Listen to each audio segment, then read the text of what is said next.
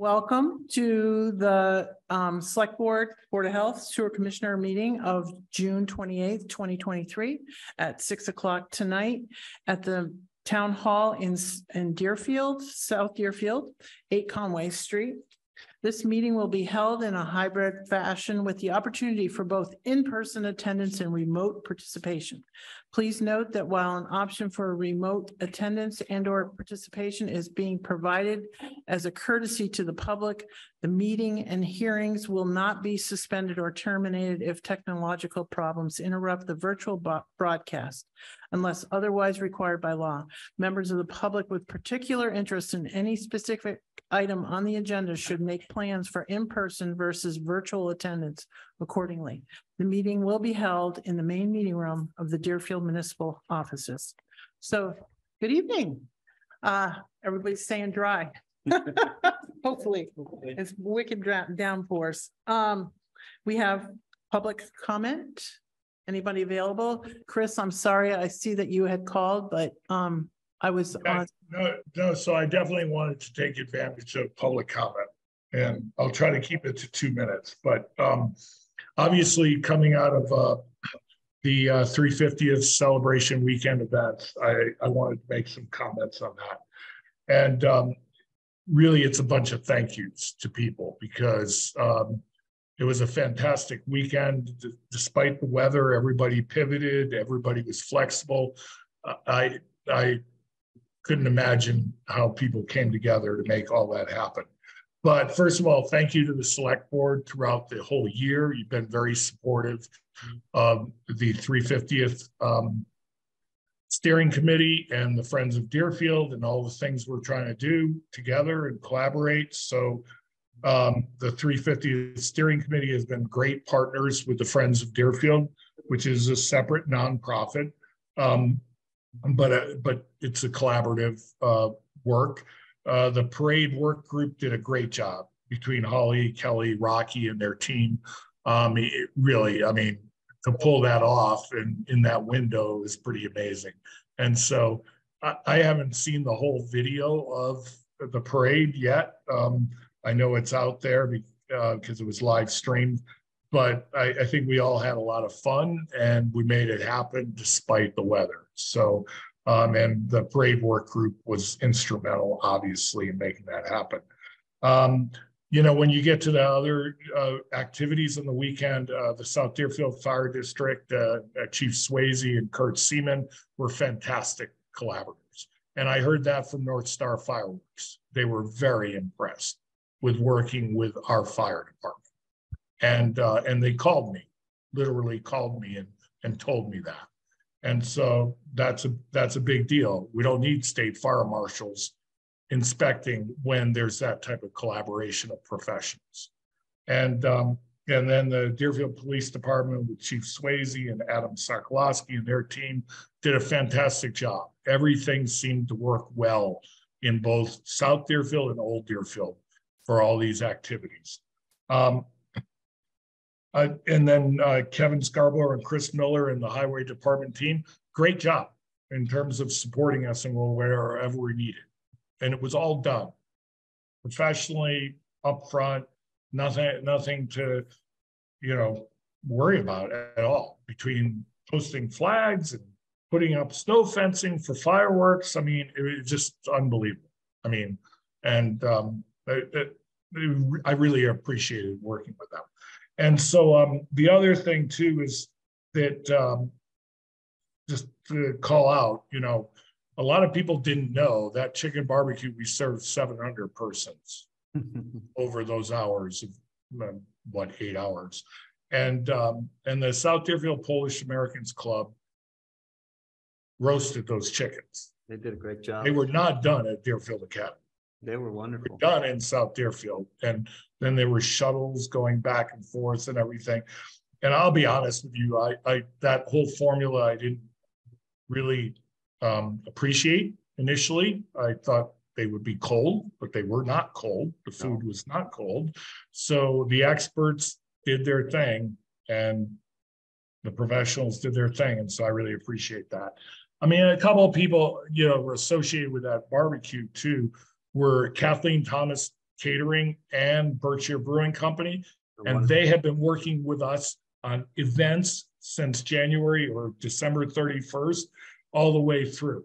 Yeah. They have been collaborating with the Friends of Deerfield to do these types of major events and, and the other things that have been done with the three fifty steering committee, whether it's the Founder's Day weekend or whatever.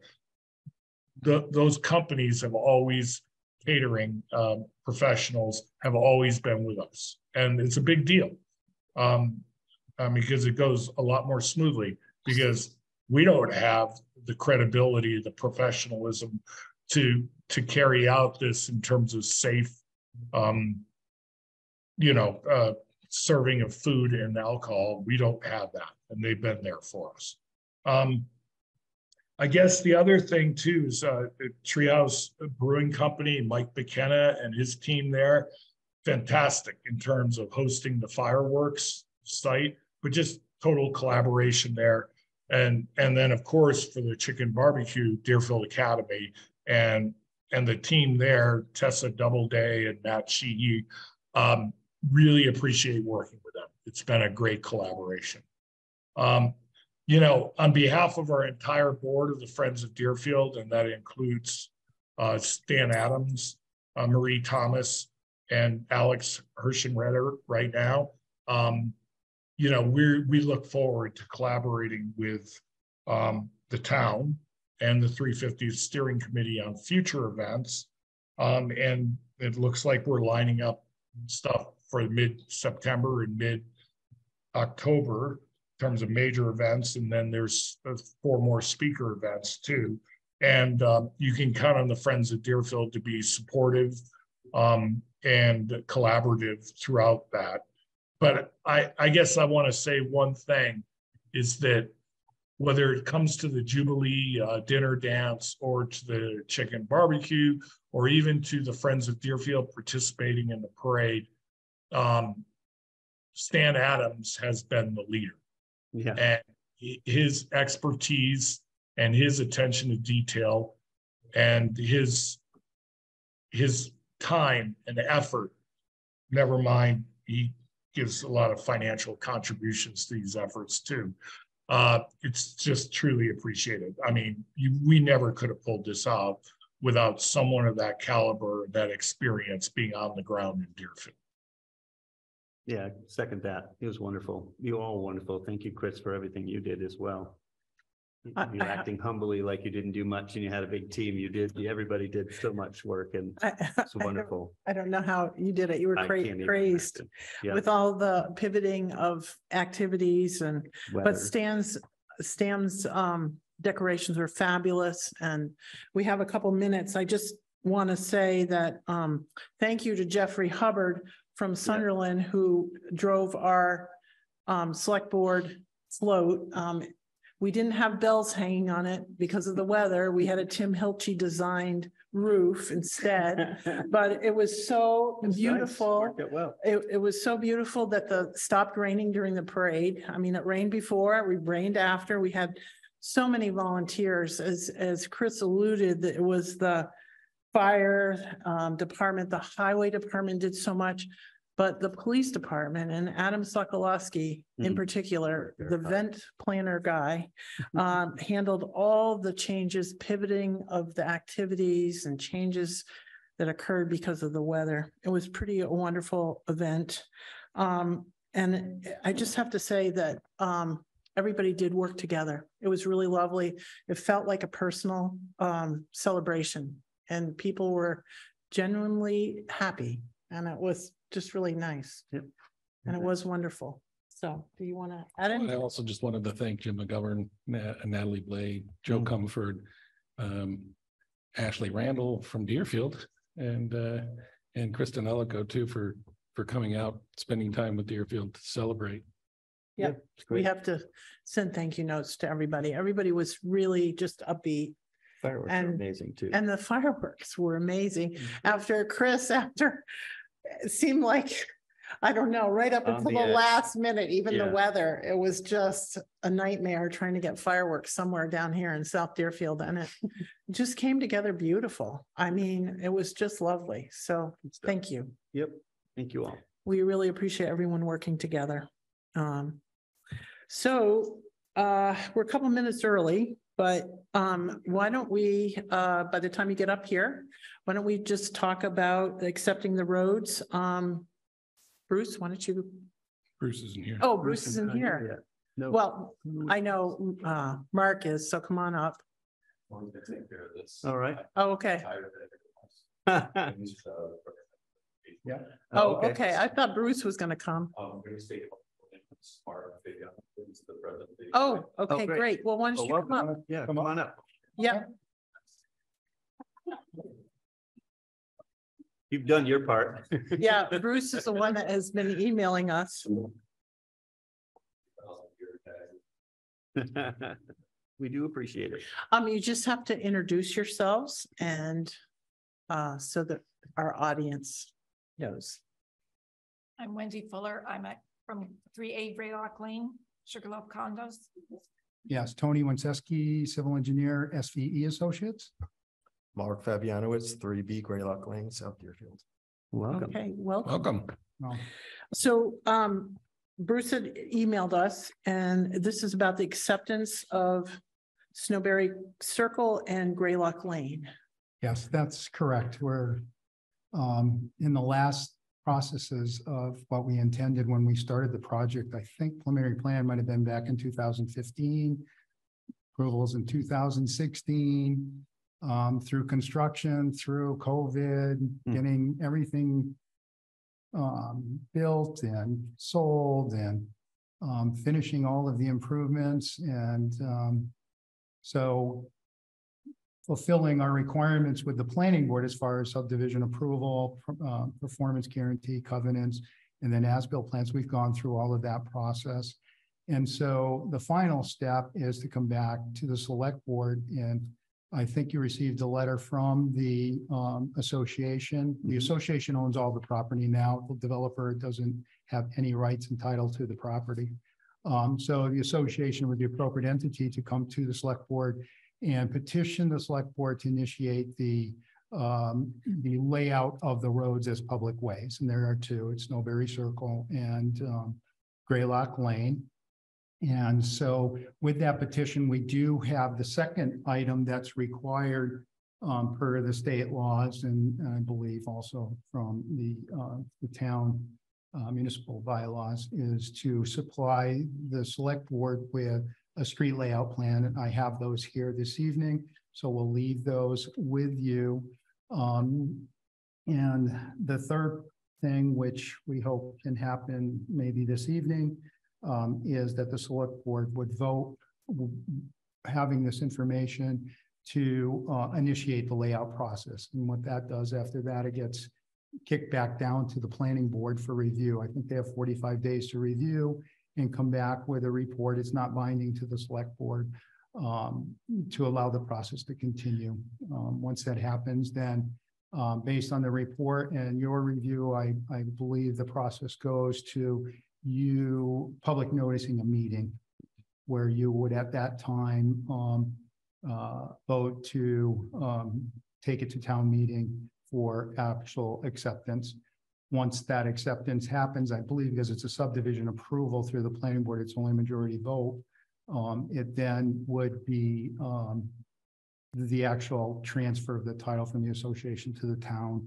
Um, and the way that I did that, it's very specific and Kevin is, understands that process. Um, we kept everything that's within the street right away as public. So it's very discernible what's public and private. Everything outside that, um, that is related to drainage mostly, because every sewer and water within public way. But we have the large drainage basins and pipes and leaching, well, not leaching, but, um, sand traps and things like that are, which were required by the stormwater management regulations in town. Um, we provided easements to the town and all that. Those have been granted when each sale has gone through. So the town has right of ways, uh, rights to get in there and inspect that and review that. Um, but we didn't think that it would be proper to burden the town with those maintenance areas because it's an association. They'll take care of everything, all of those Right. grounds. So that's the way we set it up. Um, and so we would, um, you know, just like to move forward with that and, um, I, I believe that's an engineer's interpretation of where we need to go, but you'll get full guidance from your counsel and that, so forth. Well, we, right now, we have a tentative scheduled town meeting for October twenty-third. Mhm. Um, no guarantee that we're gonna have a fall town meeting, Yeah. but we're planning potentially a couple things that we would bring up as well. So we want to work back from that date. Right. So it seems like we have plenty of time. And especially if we start the process tonight by saying that, yeah, that we would vote to have, and it's our intent to um start the layout process. Um, so do either one of you have any questions? Okay, No, I've got the, I've got Right. The plans, we have, um, actual, uh, set of Mylars and two sets of plans, so you oh, can good. supply the planning board with one. and Right. I would suggest you keep the Mylar in one set of plans. Yep. And We can get prints, um, we can get prints if there's any additional needed from the office, Thank you. but, um, you know, I think that's probably sufficient. for- Yep. Yep. Through the process. So um I would entertain a motion. Is there a verbal, or is this a verbal petition, or do you have a written No, I think petition the too? letter came from Bruce. and Yeah. we Yes, can it does. potentially Have a copy here if you The need that. June Yeah. Ninth. Okay, good. No, I see it. It's, Yep. it's just double sided, you know, it's saving trees. Yeah. Yep. Yeah. Um, so, yes, so there's a formal request. Good. And we are um initiating the process. So I would, I would just take a motion to start the process of layout, which means that we would um send this to the planning board. Yeah, I'll make that motion.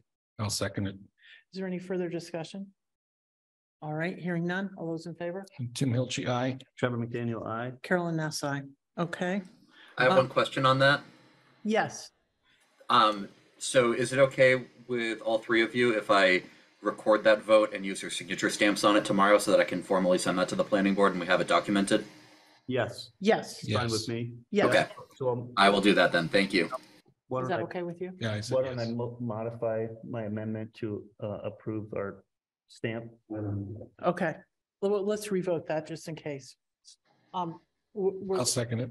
Thank you. okay, The revised motion. to use the stamp. Mhm. All those in favor? Tim Hilchey, I. Trevor McDaniel, I. Carolyn Ness, aye. Yes, Chris. we Thank can Thank you. use- You can use the stamp. Um, and you can get it going tomorrow. Um. All right, so you, what you will do, Chris, is you will m- make sure this gets on the uh, select, the planning board agenda. The next planning board agenda. Yes, I will definitely let them know. Great. Okay, Okay. um, I believe that's the only thing that we have to do at the moment. Is that correct, Chris? Yeah. Uh, on that matter, yes. Yeah, if you're comfortable with that, then we can get that moving forward. Okay. I believe that's the only thing that we have to do, right? Excellent. I believe that's true. Okay, Yes. Thank you. Thank you all. Yeah, Yeah, Sorry no about problem. that. Thank you for coming in. Great. Yes. Bye-bye. Thank you. Thank you. Um, all right. Uh, next item on the agenda is, um, a continuation of the dog hearing. Were Um, we at six thirty yet or? Mm, Yeah, do you want to do some? yes, we should, stuff. yeah, because we should wait till six thirty. Yep. Um, since that's a formal request. Wanna make a motion on the minutes? I can do that. Yes. Would you, um, I will take a motion on the February twenty-eighth minutes. So make a motion to approve the February twenty-eighth minutes. Get to him in this pile. Just find them here real quick. Here they are, yep. And I had a question for Chris on one of them, but yeah, uh, so make a motion to approve the February twenty-eighth minutes, five thirty P M. And I'll second that. Um, any more discussion? Nope. All those in favor? Tim Hilchey, I. Trevor McDaniel, I Carolyn Ness, I. How about March twenty-eighth? make a motion to uh approve March twenty-eighth, twenty twenty-three minutes, five thirty P M. Did you, I just want to take a quick glance at Yep, this. please. It was my birthday. I didn't, I don't recall being here, so. No, um, you weren't, you weren't present. So, um, I'll second the motion. Okay, um, all those in favor? Tim Hilchey abstain. Trevor McDaniel, I. Carolyn Ness, I. Um, you were in California having a good time. Yes, Although you know. Well deserved. he did zoom in some of You these, did but I don't zoom think in zoomed in some on this one. Yeah. Some of it. Yeah, I thought I did, but. So I wanted to clarify, Chris, there were two minutes listed as April sixth. And I think the way they are, the first one is actually the April sixth minutes, and then the second one might be the twelfth. We think it's the twelfth because that was when we did the electors. I, I think the heading just didn't get replaced. That is a good observation that I will definitely make the change on for that because I think you're right. So make a motion to approve the April sixth, twenty twenty-three minutes. Um, Tim Hilger, I'll second that. Any further discussion? Nope. All those in favor? Tim Hilger, aye. Trevor McDaniel, aye. Carolyn Ness, I. Then I'll make a motion to um have April six minutes revised, uh, the second set revised to April twelfth, twenty twenty-three, and um Have And- Chris verify. verify the date, uh, approve the minutes.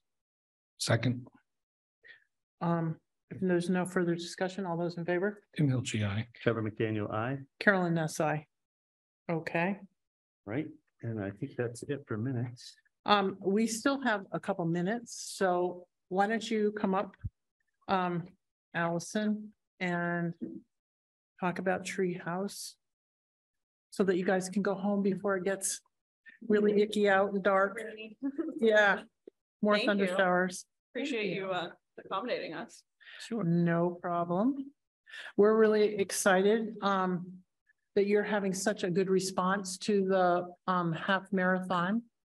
Uh, we were hoping that you would would do a five K or ten K, but having you do the half marathon, I have to say for September seventeenth is very exciting. Yes, So um, we'd love to hear your request. Absolutely. Thank you. And uh just, I don't know if I need to do this for the record, but Yes. Allison Maisley here from Treehouse and Sarah Maggie-Moore from Trios Brewing Company. Thank you. Sarah, Welcome. thank you. And I also just want to say, Chris, on there, thank you. Uh, you know, it's been such a, an honor to be able to work with you and the Friends of Deerfield for, you know, we were able to do the fireworks with you guys at our property. So that was really wonderful. And uh, you know, thank you for being an amazing sort of person to work with to make that go off without a hitch. Yeah, Yes, thank you. And we're particularly excited that um this half marathon is coinciding with the three hundred and fiftieth. thank you. Yeah, That's exciting. Couldn't Yeah. plan that better if we tried. So we're very lucky that you guys are uh celebrating your three hundred and fiftieth this year and we're Right. excited that, yeah, our half marathon is taking place at that time. Yeah. Um, so what you're looking for is, my understanding is the soccer field. You need to expand. Yes, Okay, so why don't you tell us about it, just so everybody in the audience is aware of that? absolutely. And um, Chris, I don't know if you got my email earlier. Would you be able to share that slide? deck? I did, if that's okay with the board. sure, please. Sure, I will share that right now.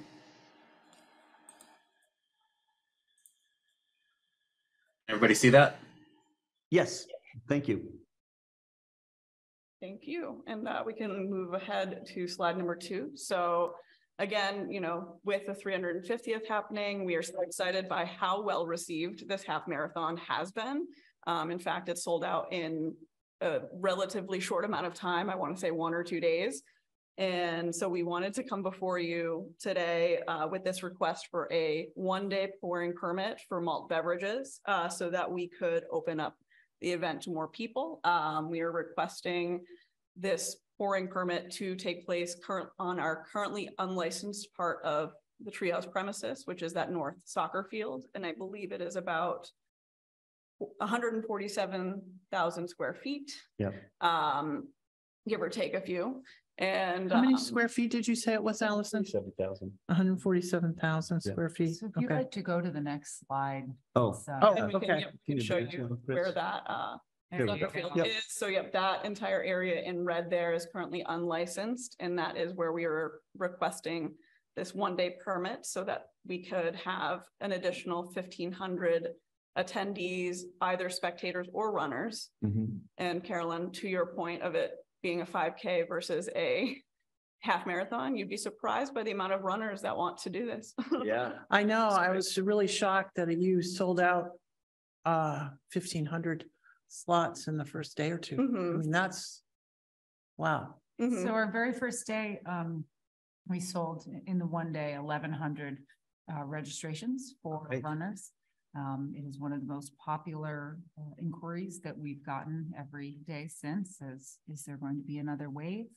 Great. Um, there's just a whole lot of excitement coming to Deerfield in the fall. I think we're Yeah. gonna be peak at Right. that time. It's just gonna be beautiful and we're excited to be kind of part of the highlight of the, of part of the highlighted events throughout the year.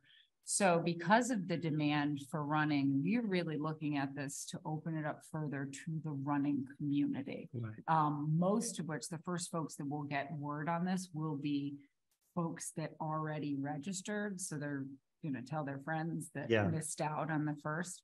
So we look at this as opening this event to more runners. There will be additional spectators that Yeah. naturally come, but we're really trying to cater to this running community that met this so enthusiastically to, to try to come, um, this way, out to Western Mass, out to South Deerfield. And, um, you know, you're aware of this, Carolyn, in previous conversations, but we're, this isn't, you know, we're fumbling our way through our local turkey trot. We really went to the best folks on this. Yeah. It's an outfit called the MSC. They run the Boston Marathon, they run Falmouth Road Race, um, huge, huge scale events. This is very, very tiny for them. But, um, we're gonna start and we're gonna do it right the first time and then maybe in the future we'll add five days. I don't know. Um, I, this is amazing turnouts already, so. Does And then anyone have any questions? Just to, uh, just to Yeah. appease to your mind, I do have one last slide. Yeah, Um, and as Sarah mentioned, that we are currently working with DMSE, so the best of the best that we could come up with, but we are also making sure to work closely with the town. Uh, we've been coordinating with the three hundred and fiftieth steering committee, Deerfield Police, Fire, um, and EMS, just to make sure every single detail that we could possibly think about for this event is thought of and that we execute it without, uh, you know, any issue. Um, for parking, we are providing additional offsite parking. Um, we have two lots from Yankee Candle, uh, one across the street and then one right by ninety-five. I believe it was the old warehouse. oh, yep, And then um UMass and Greenfield Community College as well. So we'll be doing shuttle service from those locations. Just Okay. to make sure that there's not a huge influx of traffic in Deerfield that day. There won't be any roads closed, but we will have cones along the side of it. Um, and then for restrooms, because I know that is uh, you know, something that you guys want to make sure we have enough of. We will be doing portable toilets for the day of the event only. Um, so fourteen additional portable toilets will be brought in. Um, and they will be removed shortly after the event. so the, yeah, these were definitely my questions. How do you figure on the parking and, and working with the fire and police? Um, have you, have you guys laid out the, the route yet? Yes. And and you worked with everybody on that? Mhm. Okay. And you briefly, can you briefly explain what it is? Is it, is it on roadways? Is it on just running around the fields? you Just know, running circles. Criterium, Very easy. Right around. you know, like Um, the- so the Yeah. route will take us south on Route five, we'll cut across where um that Yankee Candle area is, I believe. It's gonna come up River Road and then come back over in a loop to North Hillside, where we'll come back to. Um, and then- It's all in Deerfield. all, the entire thing is in Things are Deerfield. Mhm. Uh, And this fifteen hundred is that, that's all the runners.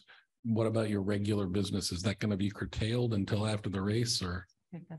Yeah. Um, so this event is closed to runners and spectators. Um, so in order to have access to our campus that day, you will have to be a registered runner or a ticket holding spectator. So Okay. it is not open to the public that day. It is for this one day Right. special I, event. I, I just want to explain to people, um, the parking, the whole parking thing. Um, because people have to have a parking ticket. Mhm. And the reason why is because that's how you control the number of cars. If you have a ticket, you can park. And if you don't have a ticket, you can't park. You have to have a shuttle. So um, I totally understand that. And I actually appreciate you doing this. And this is how you can control the number of cars on the campus. Okay. So thank you. I know there was a couple complaints about that with the fireworks and stuff like that, but there's nothing you can do. You just can't have massive amount of cars showing up at the last Mhm. minute. And we like people to know where they're parking ahead of time, so they don't create sort of a cluster around this area and, you know, oh, maybe I can park at the brewery and then they can't, so they go somewhere else. We'd rather them know ahead of time. Yeah, They go where they're supposed to be. Absolutely. And uh, so I know people had complained about, you know, having to get a parking ticket, but that's the only way that you can really control the numbers. Yeah. So anyway, Have you sold out your parking? Not yet. You'd be surprised at the amount of spaces we have at UMass and Greenfield that people were not ready to commit to parking at yet. Okay, well, but but your main campus. That's full. Yes. Yeah, thank you. I just wanted to, if somebody asked me, I could say, you're gonna have to park remotely and be shuttled in. So, Absolutely. Excellent. is there any other questions? Yeah. All right, I'll entertain a motion to approve this. Um, I'll make that motion. I'll second the motion. Any further discussion? Hearing none, all those in favor? Tim Hilchey, aye. Trevor McDaniel, aye. Carolyn Ness, aye. I want to thank you, thank you for coming in. I also know through our conversations, Allison and Sarah, that you will be updating um the steering committee and and by de facto, the Friends of Deerfield and we'll work closely together. We have a July um, July thirty-first and um, August twenty-eighth meeting before your event. So if you don't mind just coming for an update, you know, you- they're virtual, so just zoom in and that would be great. A much easier drive for me. I Yes, appreciate it. yes, And, yes. uh, yeah, we're, uh, if you, you know, if any comments come up, please let us know. Yeah. If, uh, and we look forward to updating the steering committees as we go. And just Absolutely great. continue to work with Well- obviously Adam and the, and Yeah, Chief Patrick Absolutely. and. Yes, Adam and the chief have been a tremendous help. Yeah, I- great. I have to Great. say Adam has been really amazing with all the events that happened in the month of June and now Yeah. right into the fall. So thank Good. you very Thank much for you very coming. much. Thanks for Have a your Be great time. careful, I'm Safe. getting uh, binged with all the lightning strikes still, so, Yeah, good. yeah, so, bye. Take care. Be careful going home. Um. It is six thirty, um. I don't see anyone here for the, It's Probably all remote. are they all remote? Probably remote. For the continuation of the dog hearing? Do we have any members Yeah. representing? Um, well, we have a request to continue the hearing and, um, personally, I don't have really an issue about that, but, um, in my mind, there is a gap between what we did two weeks ago and continuing the hearing to the next available meeting. And I, I just want to make it clear that we have to have, um, with the dog confined to the property properly so that no one would get bitten further. Um, that would be my concern. I don't know if either one of you want to, um, address this, Matt. Um, our, as our lawyer, um, well, let's hear the request. Uh, we have the written request. So Kate, would you like to, um, discuss this further? Can you hear me? Yes. Um, so I have hired an attorney by the name of Jeremy Cohen. Could you talk just a little louder, Kate? Your volume's down. I have hired an attorney by the name of Jeremy Cohen, who was on this call I am- about two weeks ago. I am right So here. I'm just- I'm going to let him speak on my behalf. Thank you. Okay, Welcome. Good Jeremy. evening. Can you see me, hear me? Yes, yes. yes, we can. Okay. Yep, And thank you for uh, even considering this request. And um, to the extent that we were seeking it is, it's just to get a better sense of, of where the dog is, is really at right now. Um, and to give everybody a sense of, of what might have happened and, and really what the likelihood of, of this happening again is. It's because this is an aberration for the dog. But me, so meantime, and this would be an evaluation by a behavioral consultant. It can take a little bit to find somebody with free time, but um, I could work with Matt so that all information that you have is communicated to that person, and then they can send a report even directly to you. And then, um, but meantime, to keep it, keep the community safe, I understand the, um, the request to keep the dog confined to the property.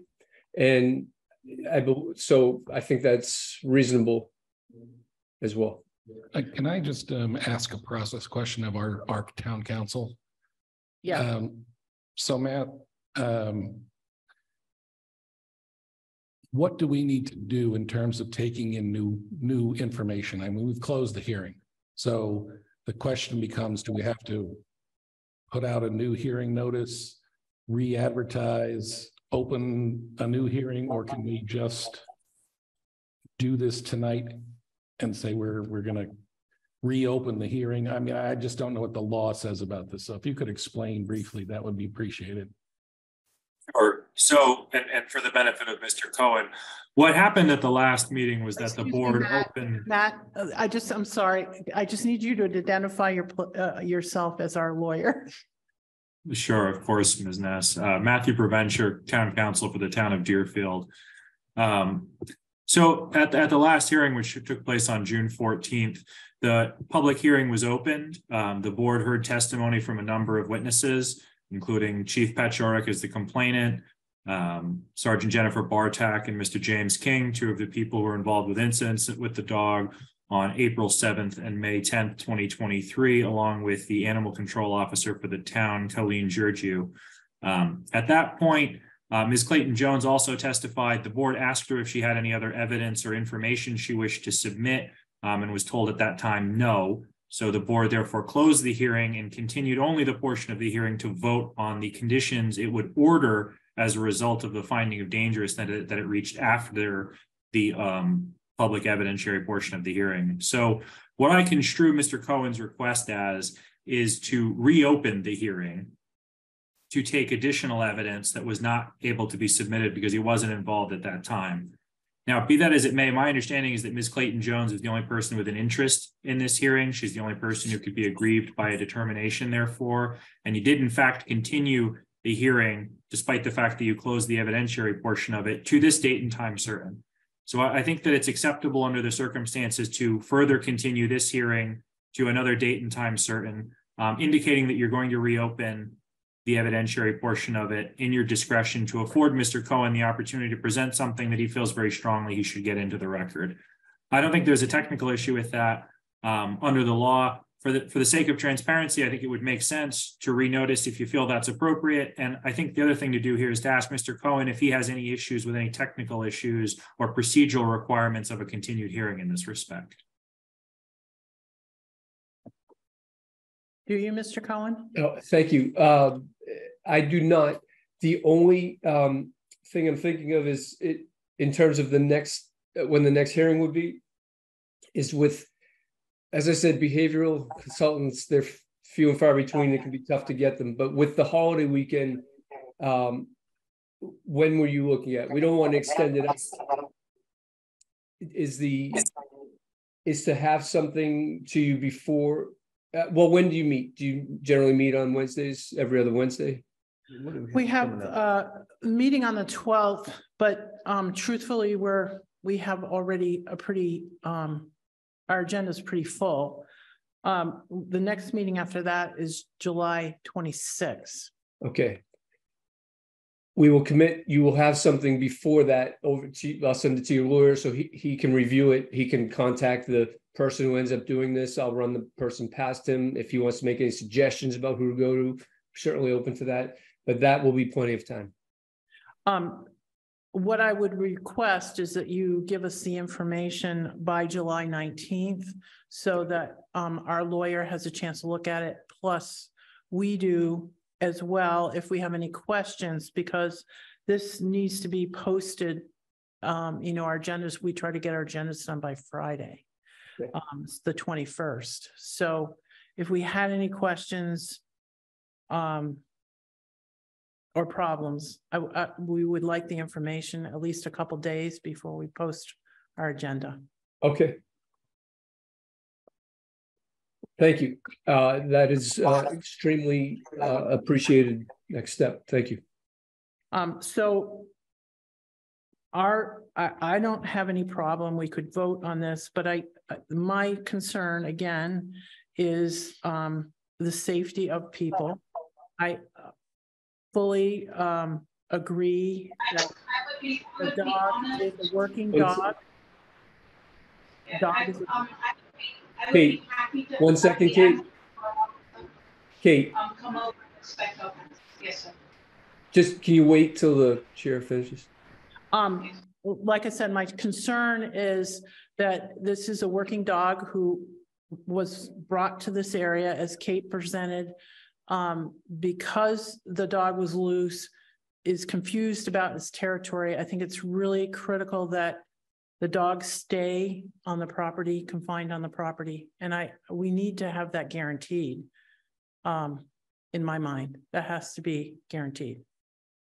Before we vote positively on continuing again. Yeah, and I just want to clarify what confined on the property means because um, twice the animals escaped uh, fenced-in area. And so, you know, does that mean that the animal is going to be contained inside the fences that currently exist, the strengthened fences? Or, um, That's right. you know, the dog could wander the perimeter of the property if it was trained to not leave the property. So I don't want it outside alone under any circumstance. Yeah, I would, I would g- agree. That's what I meant. So I, In the fenced area. in the fenced area that Kate has said that she has um Reinforced, right? reinforced, right, before our hearing last time. So can you just repeat the condition? Conditions would, oh, go ahead, because I, I, I've got it. My feeling is that the dog should be maintained inside the fenced area. Uh, I don't, I don't think defining it as on the property is sufficient. Okay. Oh, absolutely. Right. Uh, and I would agree with that. That's my major concern. It's really just safety. And, um, you know, I, I think that's gotta be, that's critical to my support of this vote. So uh, Kate, and can you speak up a little louder when you talk, Kate? But do you understand they're saying confined within the fenced-in area? I know you've im- im- made improvements on it, but this is, they're giving us the extra opportunity, so we need to make sure that they understand you're gonna do what you can to keep everybody feeling safe. So what I'm understanding is that within the town of Deerfield, right, within the town of Deerfield, Theo needs to be confined to the fenced-in area that I have spent a lot of time and effort uh, securing. I would welcome the animal control officer to come over and inspect our fences to make sure that they are within the, um, the, the perimeter, because we've actually put two fences up. If Theo needs to go to the vet or something like that, he will be on leash in the town of Deerfield. So I value safety just as much as everybody else. And so my understanding is, is that when he is loose, he needs to be completely within the confines of the fenced-in area. The fenced-in area has also been posted to warn people that not to enter without permission. And it also has clips on it so that somebody coming in really does have to work very hard to get into that area. Thank you. I feel, Thank you.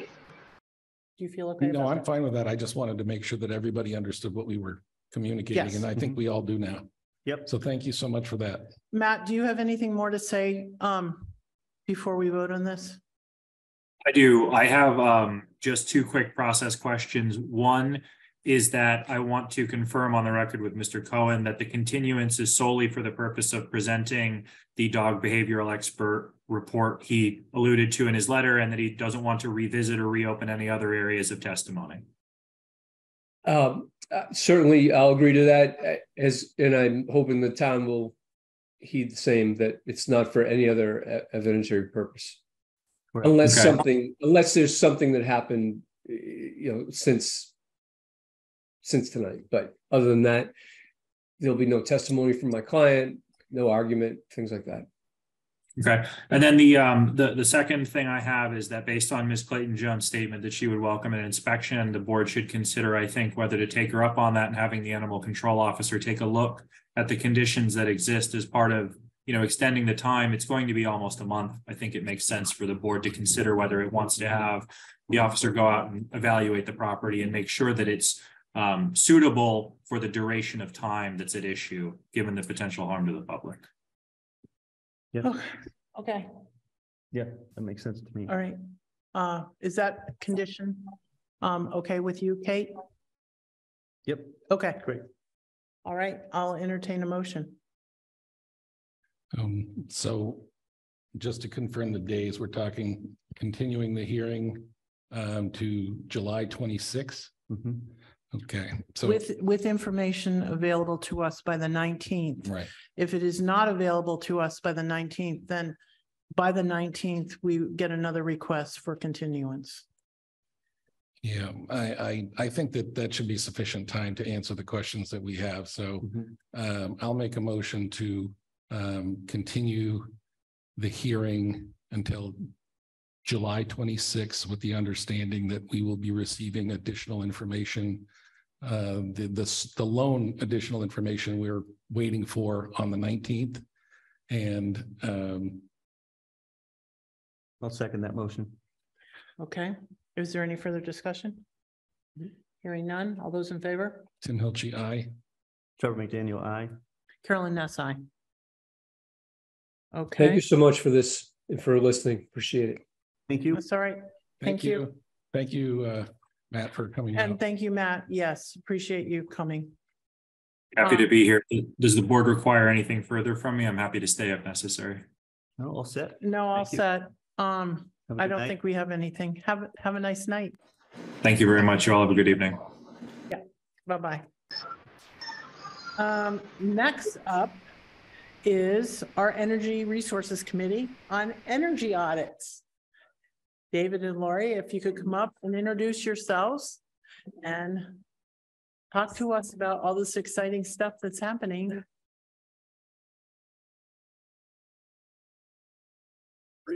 Hello, everybody. I'm David Gilbert Keith, Chair of the Deerfield Energy Committee. And I'm here to talk about audits. And I'm Lori Busada, also on the Deerfield Energy Committee and here to support David. Hi. Um, First, let me thank you guys for doing this all the time. It's, it's not really great. Um, However, um, it came to my attention that you needed to hear about the audits. Uh, we, we have brought into the town a total of pushing five hundred thousand dollars over the years in grants, not to mention the aggregation savings and solar stuff. Can I just say, stop you for one second and say, just repeat that, that not only are we all saving a tremendous amount of money on our electrical bills, but you have also brought in five hundred, nearly five hundred thousand dollars in grants. That's pretty amazing, and you should be wonderfully thanked by everybody. Well, thank you. And I hope to keep it going. And part of that is that many of the grants, almost all of them, that particularly the Green Communities grants, begin with setting a baseline. And the, the grants are given on the idea that we can reduce energy use from that baseline. And to do that, we need energy audits that set a baseline so that incentives from the utilities and from green communities can kick in when we achieve 20% reduction or whatever it is. And um, so we were hoping, I mean, we're still in the process of trying to find separate funding toward audits or to find audits that will be the minimum necessary to set a baseline of energy use. But for each building, um, but particularly the elementary school and, and we're hoping to work with Frontier. Um, it's particularly important um, in terms of utility-based incentives to have that established. And there are a couple of ways to go about it, and I know that you've already put Matt McTeague from, from Eversource on your agenda for a couple of weeks from now. He'll be talking about the energy retrofit program. But that can coincide with our ability to get another Green Communities grant. And so that's what it's about. Um, we're, we're exploring possibilities of ways to go. Uh, we got advice from Matt McTeague that he can give us names of vendors who will likely work with the town to perhaps even do them at low or discounted rates pending grant approval. Um, so it's it's the beginning of a process. There's a slight incentive uh, reason to get going at Frontier because they are about to upgrade their boilers, which will improve their energy efficiency. And if we can establish the baseline before that happens, we can more easily achieve a 20% reduction because part of that efficiency will go toward that 20% reduction. And that's that's going to happen pretty soon, which is why you've also been hearing about me trying to coordinate with the other energy committees of other towns. Um, so that's a slightly separate issue, but I'm open and here to ask your advice on how to best approach um, working with the school committee, uh, collaborating, not telling. but I think ideally, we could, as the four towns of the district, coordinate our grant proposals to bring into the school roughly another $500,000 worth of work. Um, and there are, there are, we know, potentials where that, that could go a long way toward just basically lowering their use of fossil fuels, but lowering their energy use altogether and increasing their resiliency by having both the capability of using gas and electricity. And whichever rate is better, they could do that. But we can do it if we can figure out how to coordinate. Well, it makes absolute sense to get the baseline done before they put in the more energy efficient boilers one way or the other. I mean, that's up, common that's up to the district. I mean, that's their choice, right? So they would just invite them in to do it. Right, so, Us. um, it's Bill Hildreth is Hmm. the person there, but, um, I could call Darius. And the school committee, Hey, Darius is aware of it. It really needs to be, this group needs to get together and, and address the school committee. It's not Darius, it's the school committee. They need to. Well, convince. Darius, we did meet, um, MA and I met with the school committee a few months ago.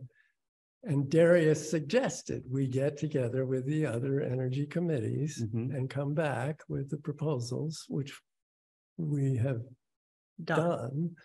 Except um, one of the towns um, suggested that we would carry more weight if we were appointed. Um, now I know there was resistance to that that surprised me because we were appointed to an aggregation committee, we were appointed to a solar committee. This grant process is grants to the town of Deerfield. But that's a district. It's not the town. I know. The whole uh, other That's, entity. that's why I think there is overlap. I don't- Yes. Yes is yes, that's us. Yes, is But us. Frontier is the one. that's the Frontier is a bigger- whole other yeah, animal yeah. that we don't have any say over or control over. It's a. Right. complete- It's Yeah. not a matter, it's not a matter of control. It's a matter of, of Encouraging looking cooperation. serious. Yeah. Um, but I, I kind of disagree because Deerfield can claim a share um, proportionate to our use of Frontier, Which is fifty percent. fifty percent. In terms of green communities, that fifty percent is the towns. So But that's a, again, it's a separate district. You just need to get approval from the school committee. Well, They're I really totally, of course, we can't do anything without the school committee. Right. And I But think to they're open get to the it. school committee to pay attention to us, um, it would help to have the support of the town and, and you know, I- I've been frankly astonished that it's so hard to give the school committee five hundred thousand dollars. Yeah, I think don't it's get it. And it- the various towns are very nervous. And I get that there's turf of what's the responsibility of the school committee and what's not. DES is no more, it is our building and so on. Correct. Frontier, as far as the grant writing and, and authority is concerned, is also Deerfield property. isn't. It isn't. It's not our property.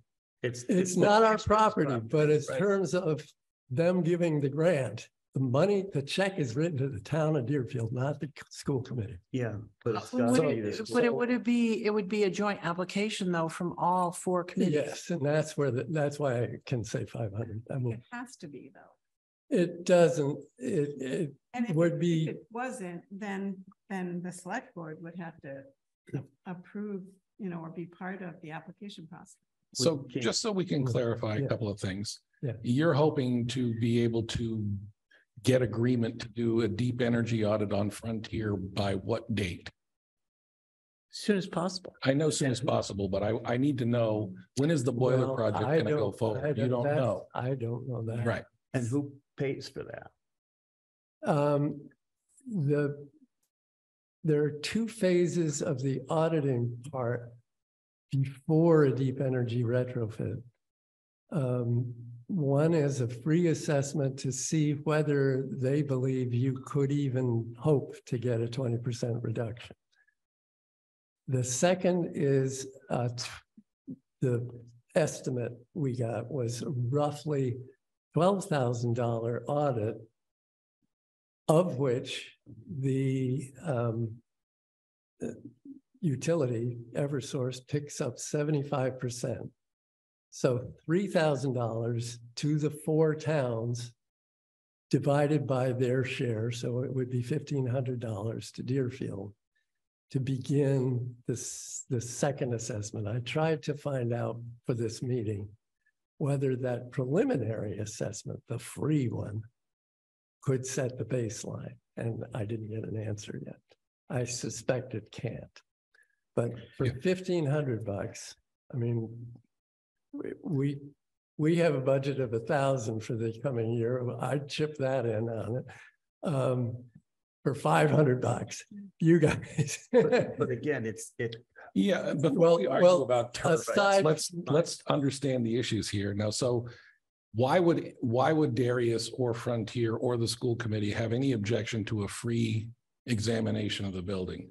I don't know. I've written, I've written an email to Darius putting forth, asking him for support for this four-town energy committee to be working with the school committees. Uh, haven't heard back from him, but I un- understood he just closed a school for the year. And um, I'm happy to try and call him or ask Carolyn to call him. Um, and, and, you know, ask the two questions. Um, will, will you intercede with the school committee? Because this makes a lot of sense. We're talking about saving money that we could be spending on educating students. Um, rather than paying for fossil fuel, et cetera, because we didn't think for, didn't use forward thinking enough to, to actually take advantage of people who care about this. Hmm. Um, I think it's a no-brainer too. I don't understand what the objection is. Um, and all we're asking is for people to allow, you know, people who are already in their own communities a- appointed to these positions and have expertise in these areas to advise the school committee. It's, it's totally mind-boggling that this hasn't happened. Well, Uh, as, but- as I, I, I do want to make clear that, you know, I'm open to your advice on how to proceed if it does need to go through the school committee. It does. Yeah, I- I'm, I'm, I'm trying to figure out, is there a short circuit for a free You, you were, visit to the school? you were on the, I know it was the Deerfield Elementary School Committee, but can you give us some advice how to move forward? You just get on their agenda and ask. I- We, we and You've did, been to the meeting. we and- did. and if they Darius no, said, we asked Darius, who should we work with? He said the Capital Improvements Committee. We asked for a contact that we should work with, and he said, me. And nobody else. And we had dead ended there. Yeah, so. When you say me, you it- mean it- Darius Modestow. It is, it's, it's, and again, it is, he can't do anything without the, the Frontier School Committee approving that. So the Frontier School Committee has to approve anything that happens. When we come up with a capital plan on the capital program, we come up mm-hmm. with an idea, we have to bring it to the school committee. The school committee votes it. I would be surprised that they would say, we're not interested, other than they may be buried in a bunch of other work, Yeah. you know, and the town has a lot of stuff. They have parking lot to do. They're working on, finish the track, they're working on the the other things, they've done a lot of energy retrofit there Yeah. already over the, you know, they did all the lights in the parking lot, the other lights um over, so they're working on a lot of this stuff already. So it could be a capacity thing and, you know, so it, is this the most important area to focus on when we have a multiple of other buildings that need addressing? Well, so if So- I could just jump in, think. Hang on one sec, Oh, and then the other, the other thing is, um, so again, if you just, if you get approval from them, I think they're open to it. Nobody wants to turn down money, but it's a capacity thing.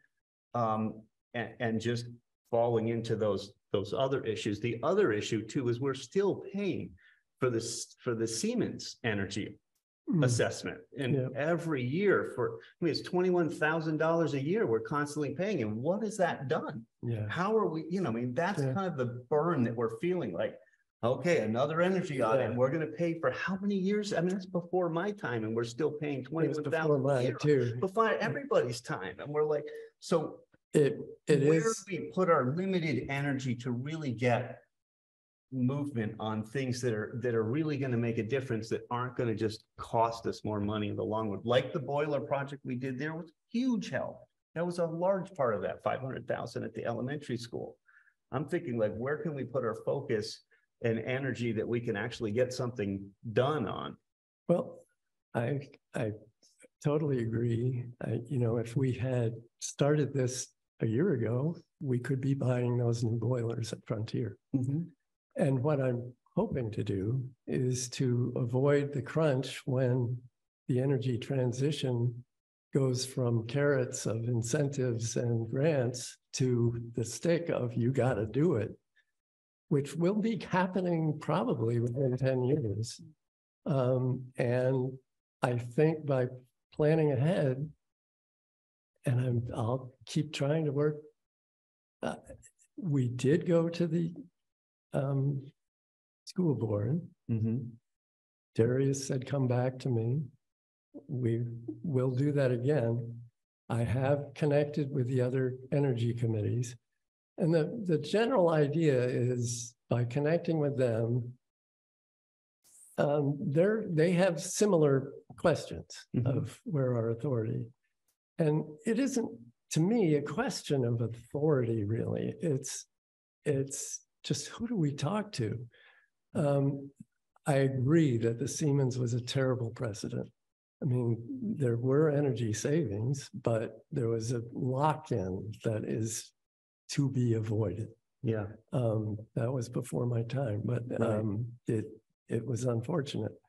And, and Frontier also has a contract with another uh, thing that handles their building management system. So there are, there are issues. Uh, just these grants need to fit a schedule. And if, if I can coordinate with the other towns, that's where the other part of the money, I mean, I can maybe come up with hundred and sixty thousand, but if each town did, that adds up. And we could, you know, we could make a difference there. Just for clarity, I thought that we had requested a green energy grant get involved with the boiler project, but the, but the sentiment from the energy committee that they didn't want to put any- any more effort into a fossil burning system. So that's kind of where that, unless I'm You- wrong You about got that. that backwards. Okay. It was from Bill Hildreth wanted the boilers and I was reluctant. I didn't, I didn't really want to go with boilers because Right. I do think that they're gonna have to back off fossil fuels, but we got Ben Weil from the UMass Energy Extension Service to come and he said, no, David, you're wrong. You need those boilers to handle the air system. Right. You don't need them to handle the heat if you replace the heating with other things. So he thought we could get away with buying two boilers, doing some other things. They already have mini splits on the entire third floor that they're only using for air conditioning mm-hmm. in the summer. They could heat the third floor, but they don't coordinate with the central heating system. A good sensor system and valve flaps to keep the air handling going could make that already electric capable. Capable, not necessarily you have to do it. Mm-hmm. And also on those forty-eight hours a year when it's too cold for the mini splits to be more efficient. Not that they wouldn't work, but Right. more efficient than the boilers. That forty-eight hours, you could use the boilers. So there's real potential there for really big, the biggest savings we can do in town is right there. And, and it's not that, ex- I think we can get enough money to do it without costing the school committee a penny. And I hope to be able to tell them that, but so far I'm not getting.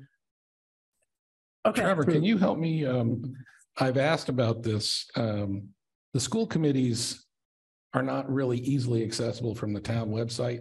They send you offsite to Frontier or DES, mm-hmm. and it's not easy to find them on those sites either. Mm. So like, I can't, I was just scrolling through here, trying to figure out who's the chair of the mm. Frontier Regional School Committee. I believe. Right, but you can't find it on a website. It should be. there, Which but is, yeah. I mean, I'm sure it's there, but I'm saying, I'm pretty computer savvy. And this is a deficiency in our website. There should be a separate thing on our website that doesn't send you offsite. That at least tells you who the people on this, on these committees are. Sure. And And- contact information. Right, contact information, at least of the chair. Um, You mean on our town? On our website? town Yeah, website. I don't see why I couldn't add it. Right. Yeah. Chris, are you hearing that? um, several times. And each time I get told that it's available, but it takes me to another site. So it's not available. I, we can- I have the same trouble. man. Yeah. Sure, Sure, we can make a, a link for all. Right. It, it should be Current done People. by the end of the week. Yeah. Um, you know, because people who, town residents who go onto our website expect to be able to figure out who is on the Deerfield Elementary School Committee. Not by going to some other site and then trying to figure out where on that site. Because you look at the main frontier page, it says back to district, for families, for students, for employees, our schools, email. You know, um, now I'm seeing school committee, so now I see Conway Grammar, Deerfield Elementary, Frontier Regional. I click on Frontier Regional. Now I find Robert Holla. So I've gone through five clicks to figure out who these people are that I should be able to do from the town website. Yeah, so that's just a Um, request. We can And Certainly do that. it doesn't look like there's any email addresses on here. So um, I don't know how to reach out to Robert Holla, but at least I know who he is. We can get that more easily. Uh, Yes. So Trevor, what I was. gonna Yes, please. I'm say sorry to cut you off before. No, no, Yeah. I, I was, cutting you off, but you mentioned that there's a lot of projects going on. And so that's the reason that we would like to help with information gathering because it's tricky when you hear after a decision has been made to buy this or to put in that or whatever. And um, then it's also tricky when the the proposal deadline for green communities is coming up and we don't have the information ahead of time about a long range plan about what would be best to do when. So that's what we're trying to get is, you know, the overview, um, you know, and looking ahead at different possibilities with roofs and solar and parking and, you know, all, all kinds of, you know, the kitchen facilities or whatever. If we can get the bigger picture, then we can work with the capital improvements committee and let them know. I'm not even sure if in the future, if Green Communities is going to fund any more fossil fuel projects. Yeah. So that's what, what, what we would like to serve as uh, information gathering, you know, and connect with, um, who did you But- mention before, Ben Weil and that kind of thing. One other aspect of it, I mean, part of why I'm, you know, I hear you, Trevor, and I, you're undoubtedly correct. It, it won't fly without the school committee. It clearly has to go through them. On the other hand, um, the grants are to the town of Deerfield. They, it is, we are appointed by you. We advise you. You have an option to put our efforts towards something else. Like, you know, we can look for other ways to use Green Communities money. So, I mean, that's part of why I thought you should be involved as well as the school committee. Yeah, we have, I mean, we have a multitude of projects going on, obviously. Working, uh, starting on the church, like there's a lot of things that we could look at and do, and I don't know if. You know, if, if the Frontier School Committee isn't. Clear enough to realize the benefit, then let's focus other places, but let's, I think it's worth a shot to sit before them and say again. Again, This is what we're doing. Yeah. This is why we want, we're not here to tell you what to do. Yeah. Um, you know, maybe there's a, um, a, a view like.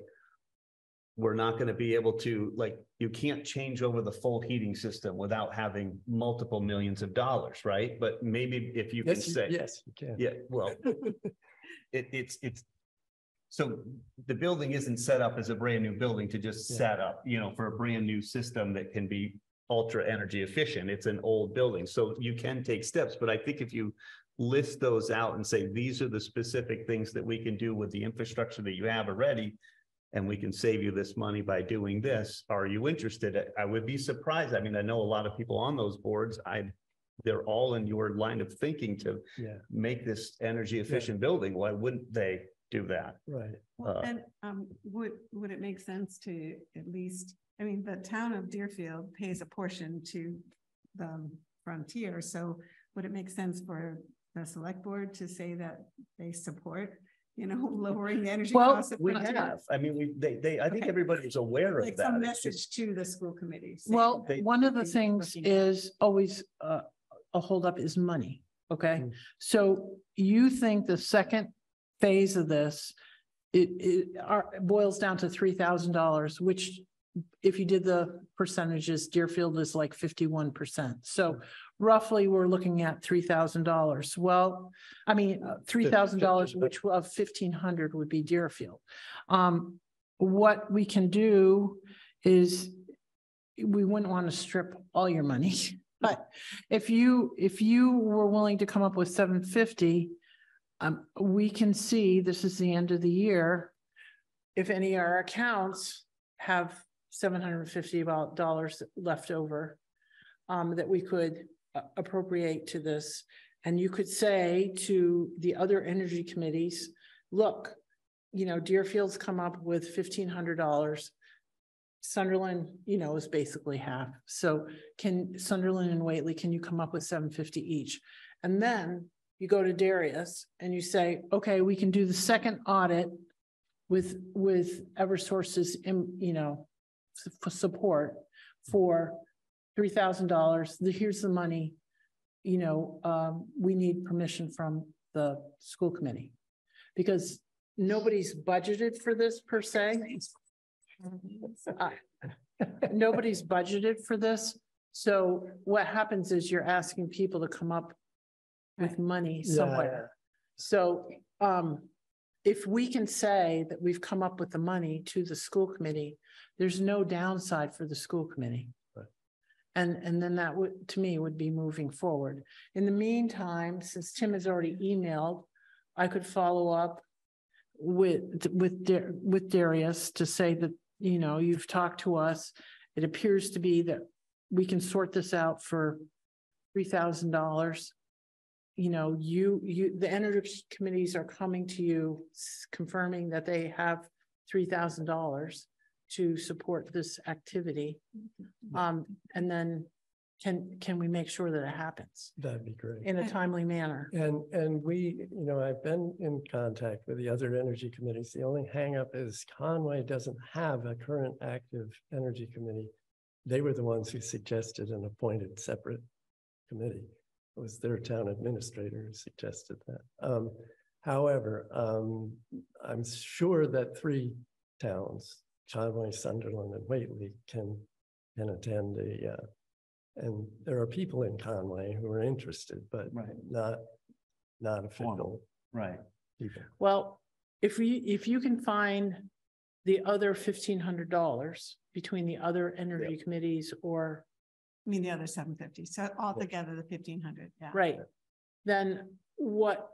No, yeah. No, no, 3,000. It's No, I three got- thousand, I got so yeah. we're, Yeah. you're You're right. looking at fifteen hundred dollars, you gotta raise in the other three communities somehow.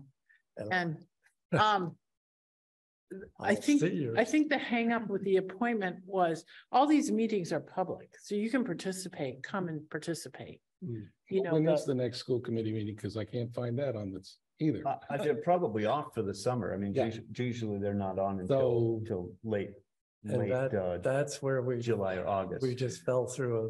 Yeah. rabbit Well, hole. but you can ask Darius to schedule a school committee meeting, a single issue school committee meeting that is virtual. So it's most convenient and say, because this is worth, you know, a That's a few great hundred thousand. Yeah. And Or, or is Whatever. it best to focus on next year's grant application? You know, do all the groundwork for this year to Well, be at it next year. That's why audits. The audit is the thing that's key, Yeah. because if you s- establish a baseline, it doesn't matter what they do in Exactly. the interim. Yeah. Mm-hmm. Even if they put in a more efficient boiler, you still have the baseline and then you're gonna be.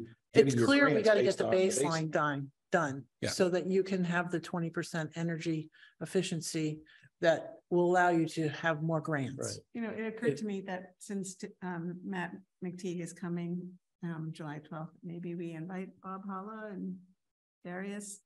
And Bill Hildreth did listen in on a meeting before, Mhm. Um, maybe invite him again just to say, okay, so now we're, we're thinking about really, you know. What is the deadline for this. this, uh, you know, When the boilers are going in, they don't tell us that Yeah. stuff, so. because I, No. I have heard, you know, that it was an, basically an emergency, which is why they didn't want us applying for grants for it. Right. Um. I have heard as much as three years to get them done, because they have to, order them. they have to order them, they have to And take out a wall to get Right. the old ones out. They're huge. They're huge. And then, I mean, like we did. They're at- like steam locomotives, yeah. The large two and put in three small ones. so And you they could can be just stepped cycle and them A Right, lot you more could- efficient. They will be Well- a lot more efficient. Yeah, it's a good thing. I mean, I'm in favor. It's a good thing. It's too bad we didn't start last year and, Right. and pay for it. But. Yeah, but that doesn't mean So- we can't get it done. But the audits, when, when do the audits? Before that, When do the audits cease to be available to us? um, well, they're, they're always going to be available in the next ten years, you know, Yeah. uh, but as soon as the boilers are in, we can't claim that the baseline Right, is. but you just said it's gonna be three years or Well- possibly three Well, years. no, Depends. no. I could don't find out. know. that. Yeah. Bill, Bill should know that schedule. Right. I mean, It, obviously procuring stuff over the last couple of years has been hard, so. Yeah. Why What don't, um, uh, Lori, why don't you tell Chris, email Chris Nolan, um, what uh, an invitation to Bill Hildreth, Darius and Bob Holla. Hmm. Because if Bob is willing to come, we don't have to post a meeting for the school committee. Um, And- and then he maybe, because of the information that we're gonna get on the twelfth, um, that we can come up with a solution of either having a meeting or time, time frame or whatever for this audit. Because it's, you said it was a two-phase audit to begin with. So let's get the first phase going. That's free. And then get the process sorted out for the second phase, which would confirm our money. So if you can come up with a game plan for the money um, between now and our July twelfth meeting, we can get an invitation out. Um, I mean, I'll talk to Chris and Casey to see if we can come up with our money. You know, our, you, if you come up, if you're willing to vote your seven fifty of your thousand for, and then we'll try to find some either money left over from this fiscal year or next fiscal year. Cause we have a couple days either side right now. Um, I'll talk to Brenda. We'll figure that out. Uh, Trevor and Tim, are you okay with that? Fine, I was just gonna ask, this thousand dollars, is that something you get every year? Yes. It's our budget. Yeah, so you get a budget and you've spent your budget for last, for what you got for this We've year? Encumbered it. yeah, You've encumbered it on, On trees, but. okay. yeah, Um, you haven't spent it though. We haven't actually spent it. So you got a thousand for this year and you got a thousand for next year. Suddenly you got fifteen hundred bucks. Yeah, yeah. Two, No, actually, you got two thousand. I would be fine with giving up the trees. Um, one of our members did a lot of work on that, but.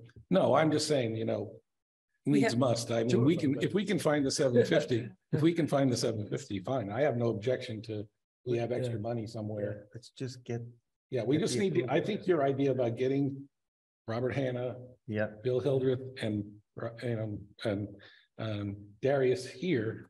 get. So their we can all appetite. talk together and they say, look, let's just find a path forward. Yeah. I mean, it's I mean, not that, conceivably, if in fact it's a three-year project to put in the gas boilers, that could be part of the grant. We could pay for that, or part of it anyway. Right. Yeah. all of it. Yeah. Um, and. Oh, you mean each, each year try to get a grant or? Yeah. Yeah. Well, let's, let's, let's plan on getting together on the twelfth. Any dollars that we can save on the school budget uh, for capital is money that we can spend on kids instead. So I'm. Or I'm- parking lots. Or parking lots or whatever. And So, it's ongoing savings. Mhm. Right. yeah, Yeah. Right. Yeah. Yeah. okay. That sounds really good. Sorry, I got a little frustrated there, folks, but uh, We're- we're- It is. these frus- websites, they make me frustrating. crazy. It I is, just- it is I really agree with all of frustrating. it. I just get stuck in the, in, in the legal. Oh, I know, requirements. It's all Trevor's fault, whatever. I it is. know, Yeah. I'll take the blame. I don't mind. No, it's, it's just, Oh, it's, it's frustrating because um, the Frontier District is totally, I mean, no one owns it. No. It's separate. Hmm. And so you can't really have you any pay for it, influence, so. right? Yes, we do, but we No. don't get to have a say unless we're Right. on that school committee. Yep. Right, so, um, but I, I think we have a way forward. Um, and I'm, I'm a hundred percent supportive of starting the first process, which is free. And, and we do need the baseline, um, right now, because otherwise you can't do, save that twenty percent, which will make us eligible for more money. We, did we do a audit on that, on the DES building before we paid for the boilers? Yeah. Okay. Was it a two-part audit or did we just do? No, it- no, different and that's actually a separate program, but it, it happens It to worked do what great. Green Communities needs as well. The, the advantage of the deep energy retrofit audit is that process has a utility incentive of twenty, uh, of a dollar per square foot when you reach twenty percent. And at- at fifty percent, you get fifty cents per square foot. And at twenty percent, you get a dollar per square foot. So that's added to whatever you can. and I, I would suspect that the difference between these energy audits and the Siemens project is that the Siemens project was dedicated to doing Siemens solutions. Oh, and Yeah, that's it was- never a it good idea Awful. To have awful. somebody audit and then tell you what they're gonna, their products they're gonna put in your building. Yeah. that's That's a right. recipe for getting raked over the It coals. was, And so it was. yeah. it was.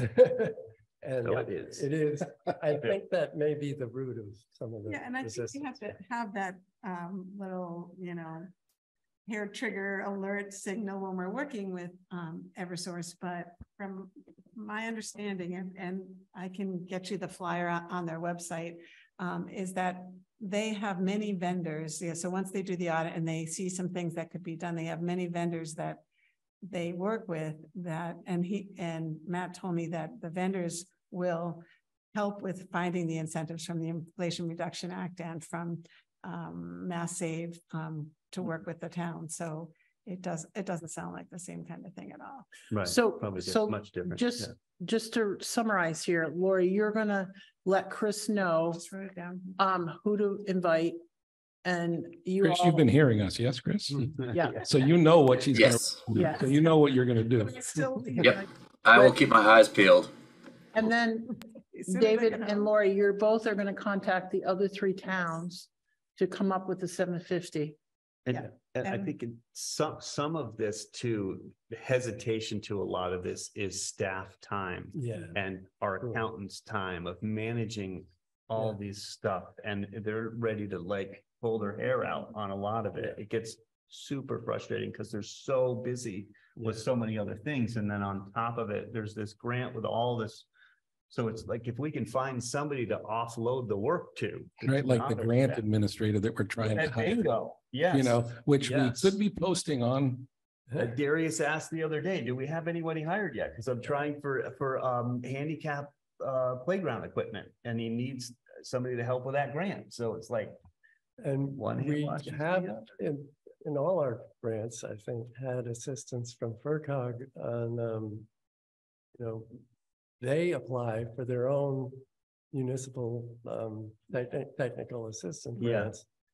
And they get them and they have helped us yes, considerably. they're, they're this. great, great organization. Well, for we that. seem to have a game plan on, I don't know, we should probably move on to. Yeah. Yep. Yes, Thank I'm you only, I'm in. Lingering because I heard there's Leary Lot uh, things on the. Very second. oh, uh.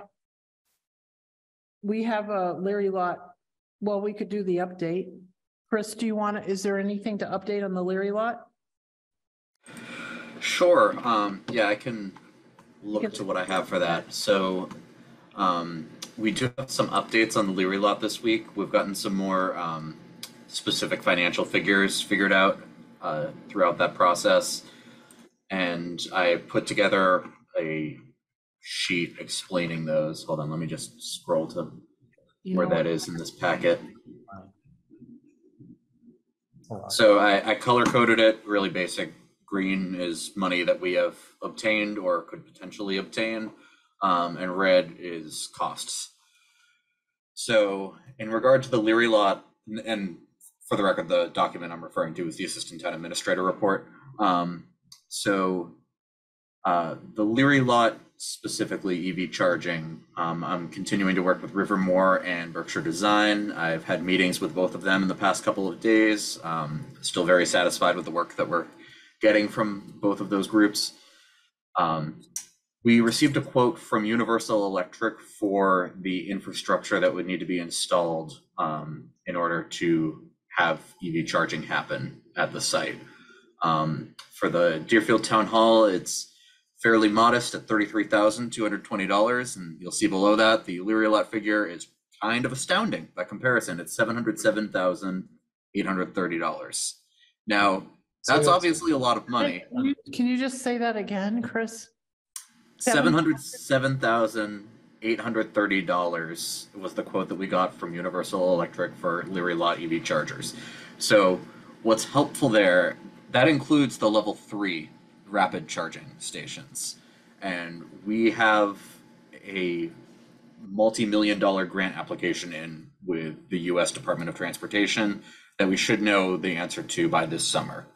Um, if we obtain that grant, that would not be a problem. Um, essentially, what this has shown us is if we do not obtain that grant, uh, level three is not going to be feasible within the near future. Um, it could be at some point far down the road, um, but the level three charging is really contingent on being able to get that federal grant that we have the application waiting on right now. Um, the good news in terms of money that we have received so far, we've received two grants, both in the amount of nineteen thousand one hundred thirty dollars uh, from the Mass EVIP, the Electric Vehicle Incentive Program. Uh, one of those is for putting in uh, two level two chargers with four ports um, at the Leary lot, and the other one is for the town hall parking lot.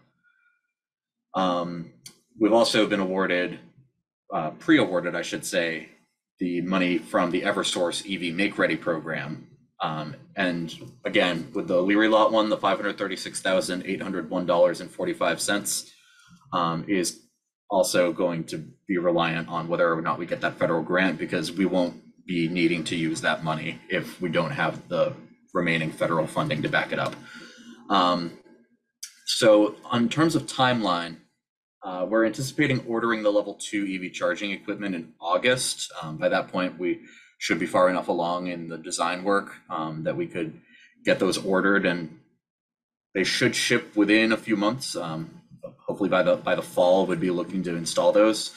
Um, and the remaining funds for the level three would be again contingent upon approval of the federal grant application. Um, the other Leary Lot update that I wanted to give you all is that Rivermoor Energy, um, they've been doing terrific work for us so far, um, and all of it has actually been uh, pro bono. So they've put forth a statement of work to continue to do a lot of the work that they've done so far and also serve in an official role as the town's project management. Um, and that would be a total of $21,000. Um, and that's been received by us. Um, it's I, I, I would hope to get the board's thoughts on that, but I, I just would say that I've been very pleased with the work Rivermoor has helped us accomplish so far. Um, they helped us get the thirty-eight thousand dollars combined through the state EVIP program. Um, and in terms of the Eversource Make Ready, that's over a half a million dollars that they've helped us secure, um, contingent upon federal funding as well. So um, I feel that twenty-one thousand is a very fair price for the scope that's contained within the statement, and it's it's below what is actual market rate for the services they're providing. Um, so I, I hope the board will take that into consideration. And that is all I have on the Leary lot for right now. So can I ask a couple of questions and then, and maybe Trevor Sure. as well? Um, Mm-hmm. it came, brought to my attention that the existing chargers that we have over near um, Cheslick's Market, there's um, this two hundred a month. You wanted to explain what these fees are? Sure. Distribution. Yeah, I, I have a lot of questions. and, Can you um, speak into the mic? Okay, so um, I'm not sure that you know, Chris, because this was before you were um, working with us. Um, that I, I did some of the research in order to get the charging station that we have now at the Leary lot. Um, so one thing that I wonder is um, about the new make ready infrastructure that we got, we got that to get the present charging station. The meter that they put there, I believe can support up to ten charging stations. So we don't need new infrastructure unless we really don't like the location. Um, but my, my, my concern and um, Carolyn and Trevor will witness that I was very um, energetic about, you know, using the money from Eversource and using the Green Communities Grant and putting this in. And since then, I've learned and talked to a lot of other towns that the equipment and the infrastructure uh, are are just like um, you know a tease. It's candy because to get that, once you get that, then you have to pay the cost of the electricity and it's not just the cost for what the car gets, it's the demand charges. And I think we've talked a little bit about this, but if a car is plugged in, and I'm not an expert on this, but we did get the bills from the DPW and we've been looking through them. If the car is plugged in and draws more than two kilowatts of, uh, of um, electricity for any amount of time, I think, if they draw more than that, and the um, level two chargers can draw up to seven kilowatts, you get a demand charge in addition to electricity cost of twenty dollars, ten for distribution and ten for transmission. So we might, I- and I haven't gotten to see the ChargePoint dashboard, so I don't know what, how many people we've served, but I know that like a monthly bill is between you know, 200 and 100, 200 dollars, just the demand charge alone. So we can't, our, our charging station right now is one of the most expensive in the area. I didn't get to do a lot of comparison, but I talked to Northfield Town Administrator yesterday. They are nowhere near making, um, breaking even, um, and they only charge thirty cents a kilowatt hour. We, we've gotten some complaints for the cost of ours. But I don't know how, one last thing, Trevor, is that if we were to allow, um, install level one chargers, which can draw fifty kilowatts, not seven, but fifty. I, you know, I would hate to see what the demand charges are. And I know that DPW is looking, DPU is looking at this. I just don't know where they are in the process and how soon I it's think we going to should get complain resolved. about that. Yeah, um, yeah, and, and we've talked to, we've talked to, um, Natalie and Jo, I've written letters to them, and there is so- something, uh, rate change on the docket, and I, they told us that when we, when we installed this, um, man I was working with at Eversource told us that there was something being looked into for the future, but I don't know when the change will happen and how much it will benefit us. So we were warned about this when, when this went in. I talked to the woman in Greenfield who um. Ran theirs and said, she's warned us like, this is not, you're not gonna, ma- you're gonna cost you money to put Mhm. these things in. It's, we have not made any or even close to broke even on that thing. If you put a charger in, you need to put it on a line that already has multiple other. Things that are already drawing, so you're not paying for those Right. already. We didn't do that here. Uh, I'm sure we're not, done that, I'm sure that's why Eversource wants to put it on a specific line where it's not, nothing else is on it Mhm. over on the other side. Yeah. It's Yeah. how they make the money. Oh, and yeah. I just, I the, we need to come up with hundred and fifty-one thousand dollars if we don't get the other thing, just to put in these chargers and it, it, um, But that's not the cost. I mean, we, once we, get- Right. they give it to us, then we own it and we are paying, if one person uses it for the month, we still get a huge bill. So it I- just doesn't make sense. I'm not haven't sure why we it go in- Affordable to charge cars yet, Yeah, I, just have not. just, just for, if case anybody's watching, I spent the afternoon looking this stuff up. Good.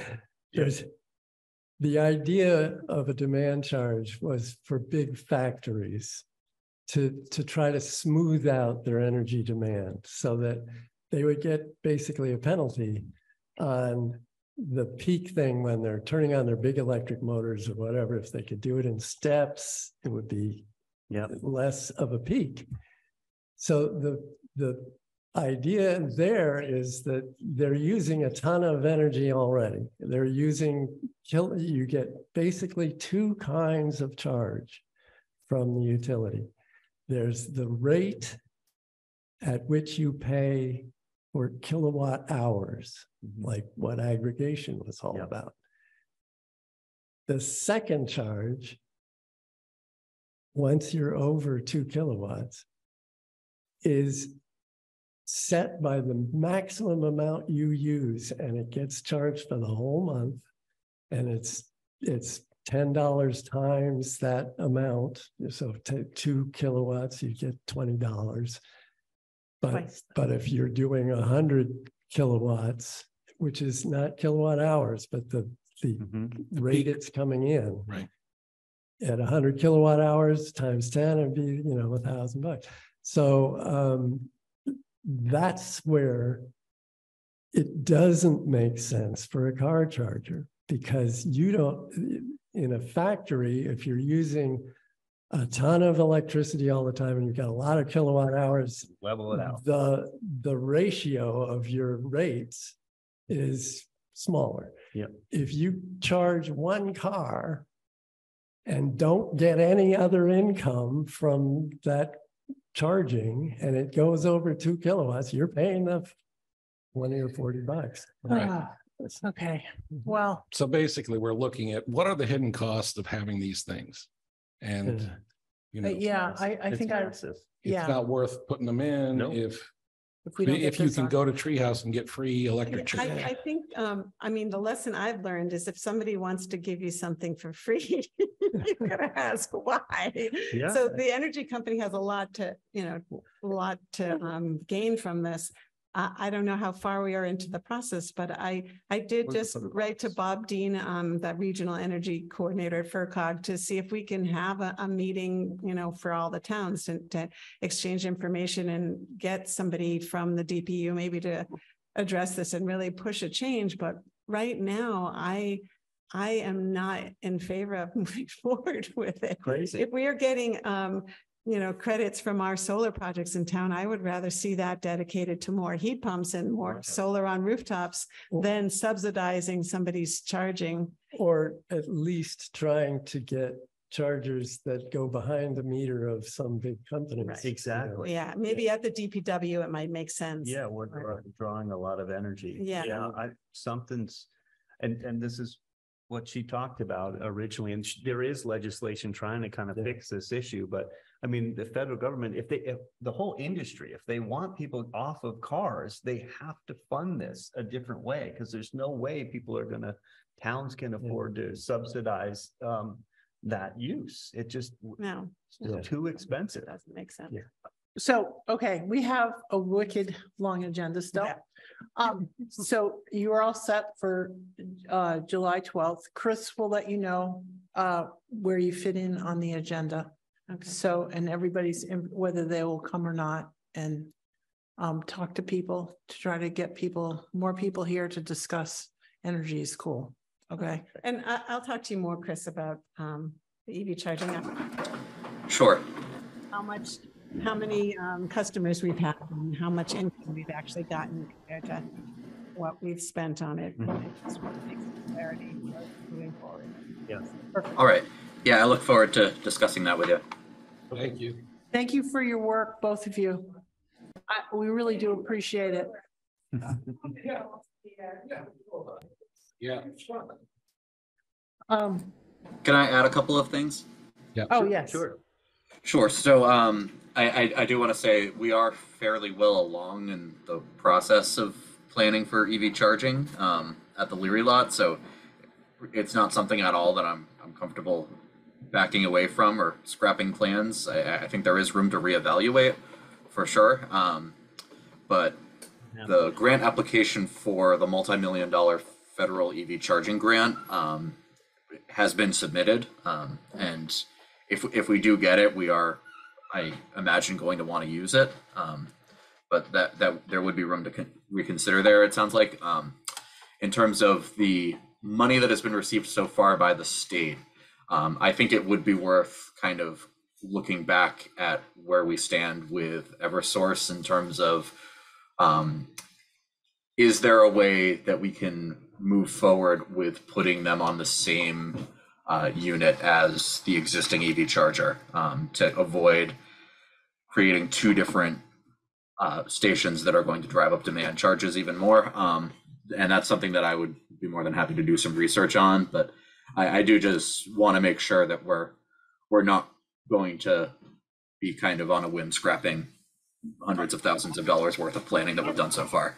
I'm not in favor of moving forward if it's this kind of cost. It just has to be affordable. I mean, we have to make sure that it's paid for by people charging or grants from the government. It's not up to the residents of town to charge everybody's car. So there's no way we can afford that. Um, the, the numbers that I see now, unless there's some other thing that I'm missing, but it, it just seems like it's wholly way too much money. And we should, we should definitely pause on this until we get clarity on is that grant coming through? And if it is not coming through, then yeah, we have to just see how much more it would cost to put a few more things on that demand thing. And is there a way to change that demand? I, I- we just can't continue to subsidize that. The other, Right. yes. No, I, f- I do fully agree. Um, sorry, go ahead. I was just gonna say, the other, the other question I would have is, if we move forward on the grant and we install the, the chargers and then we shut them off, you know, do- does that mean we've just got seven, you know, hundred and fifty or one point five million dollars worth of equipment in the ground and we don't owe any money on to anybody? Or is there a cost to not doing it? I mean, say we run it for a year and we decide this just doesn't make any sense. We're gonna shut it off. You know, Until it's a Right. different situation. Right, until they solve the DPU problem. And, you know, look, if, if the town is part of the aggregation and we're buying kilowatt hours for fourteen cents, how come we can't get fourteen cents delivered at that place? Right. I mean, Right. And there's something, yeah, there's something wholly mysterious about this whole thing. Like, it doesn't seem clear at all. It feels like they make it muddy so that nobody understands it, and then you get stuck with a couple machines that the town's paying a boatload of money for. But Right. I agree, like, if the federal money comes through and it makes it affordable, and we know what the demand charge is gonna be, and we are, our fee to charge cars, like they're gonna come and use it because it's reasonable with everybody else, I'm all for like moving us forward in that, in Yeah. that ecological, you know, journey, but not at the cost of the. and before I would, I would, before I would sign a, a- the twenty-one thousand dollar contract with more. I'd want them to come in and answer these questions. Yeah, for sure. They. need- Sure, and I'm, I'm happy to reach out to John Tortolot and see if he can come speak at the next meeting possibly, and uh, as if we don't have enough things on the agenda, I know. Um, but no, I, th- I think he would be amendable to that if that's okay with, with all of you, um, in all seriousness. When you said that the federal grant um is coming out in the summer, do you have, uh, is it like July or are you talking about the end of August or something? I think August is the estimate I've heard. Um, I, I don't know when in August, um, Okay. but I think that is very much going to be a deciding factor in how this project moves forward. Um, Okay, so um we have a Leary Lot meeting on the tenth of July, a follow-up meeting. And that apparently is um the planning board meeting that night. Yeah, so. There, ye- yeah, there there happens to be both a planning board and a finance committee meeting that night, so I was wondering if the board might be amendable to holding that a different night that week. Yeah, we should. Um, so I'm I'm proposing that is, are both of you in town for the seventeenth? I don't know. I know I've got to go look at some, Uh, the seventeenth or the twenty-fourth, doesn't matter. you could just set it and I'll be here if not. I won't be. Yeah, I I'm- gotta I should be around Colleges. either day. Okay, That's Mondays, right? right. We were looking at Monday. It seemed like Monday was the a more uh, amenable date to people. Right. to those But- who- Can I express a preference for the seventeenth between those two? Sure, Sure. sure. Yep. Okay. That's fine. So, um, Chris, could you notify, could you make sure that this gets on the calendar as a select board meeting? for six Yes, o'clock? I will And- do that. Email all the people that signed in. Mhm. Um, and then we'll advertise that the meeting on the tenth, because of conflict with the finance committee and the planning board, we are moving to July seventeenth. Excellent. Yes, that sounds great. All right. So um, just make sure that that happens. Okay, so that we, we're done the Leary Lot update. Is there anything else you wanted to say offhand um, about Leary Lot? I think that's okay. I just wanted to make sure the meeting Yep. was addressed. All right, Sure. then we'll go back to um, Trevor. Do you want to walk us through the wastewater treatment plant phase one upgrades? Sure. Order, change order? Yep, so we've got a um change order for some work at the plant. Um, let me just get to it here. So the, this is change order um eleven, um. Sure, I got that right. Yeah, change order eleven. Um, it's for an increase of twenty-one thousand two hundred sixty-four dollars and twenty-six cents. Um, and this is to, a couple of things that are changing while we're finishing up um, after kind of reviewing everything and having Eric look over, you know, a- as everything's kind of coming together and finishing up, they'd like to have some electrical outlets out by the clarifier if they need to plug in some stuff out, Mhm. right out there. So this is just the first part of it. It was one thousand two hundred and ninety-seven oh four to put in the electrical conduit and um, and outlets out by the clarifier. Um, the second part of the change order um, was aeration tank changes. Um, so this was, um, Piping? yeah, was, was piping and, and, um, so there's a bib piping, uh, a plumbing going to the, um, for a bib outside the house, uh, outside the, um, clar, uh, not the clarifier, what do you call that? The, Plant water hydrant? yes, and also the, um, screener. the screener. Headworks. Yeah, head, thank you. Headworks, I'm drawing a blank here today. The Headworks and then also um some stuff out by the clarifiers too. that, To wash, wash down stuff. You can see it on the map, the different Okay, things. they so that gonna was do. thirteen thousand three hundred and fifty-eight dollars. And then there was a credit of one thousand nine hundred forty-five seventy, which was some changing from stormwater uh changes with capping a pipe at the end Okay, uh of the plant. And then there was a five hundred and thirty-nine dollars and twenty-eight cents, which was just for the illuminated keypad for when they come in to open up so they could see. It was Right. cheaper to do that than uh, like put a light out there. okay, Um, so that worked out well and all the stuff is there. And then there was the, um, changes, five hundred and forty-four dollars and ninety-five cents. We, we didn't put a pad down for the AC units. They put them up on the wall, so they just needed brackets and stuff to do that for the AC units, um, okay. relocating the HVAC, um. That's onto the- better, that's better to have it off. Yeah, up the off the ground. ground. Yep. For sure. Okay, so that makes sense. And then, um, and then the five thousand seventy-four dollars and forty-nine cents were site modifications for the, the finishing of the sloping and stuff, and we added riprap along the slope so they don't have to mow in a steep spot. They added riprap along that area, Oh, um, well, along the back. That makes sense as well. Yep, and then we added three inches of asphalt walkway, uh, will be replaced with loam and seed. And then I think that is it. Oh, Uh, wait, no, well, no. Safety 23. railing, yep. Yep. So the, uh, the chlorine tanks, the railing wasn't really, um, up to code for OSHA, so they, they, um, added, um. Upgrading the, the pipes there, which was two thousand three hundred and ninety-five dollars and forty-nine cents. Those seem to be, um, reasonable, Safety stuff, yeah. Yep. all reasonable. Okay. Gotta tell you, I. it's two-sided stuff is- I know. I know, pretty- with that, right? I can't, I can't follow crap. And then you can't, and then you can't, um, you can't like separate anything. Right, It's like, Uh, I get got five piles here because I can't figure out What those what- what- what? where one thing starts and the other. I know it's saving paper, but just a, a request maybe, well, each item be on one thing. Yeah. Because you when it prints out, it like prints everything all together. So if you want to like scrap a page, you can't because it's stuck to another page. that you need It to- does. Yeah, I can I can work on making that not an issue with the future packets. It does waste paper, I get it, but, um, it's But not it's really. better than waste. wasting our time. That's true. All right, so I'll accept a motion to, um, approve the change orders. And is there- allow is me there to piece sign. That's totaled? Yes, it is. It, the Oh. total is twenty-one thousand, two hundred sixty-four dollars and twenty-nine cents right on that front Oh, That's a- this one, right? page. Yeah. yeah, right here. Okay, twenty-one, yeah, okay. Good. Okay.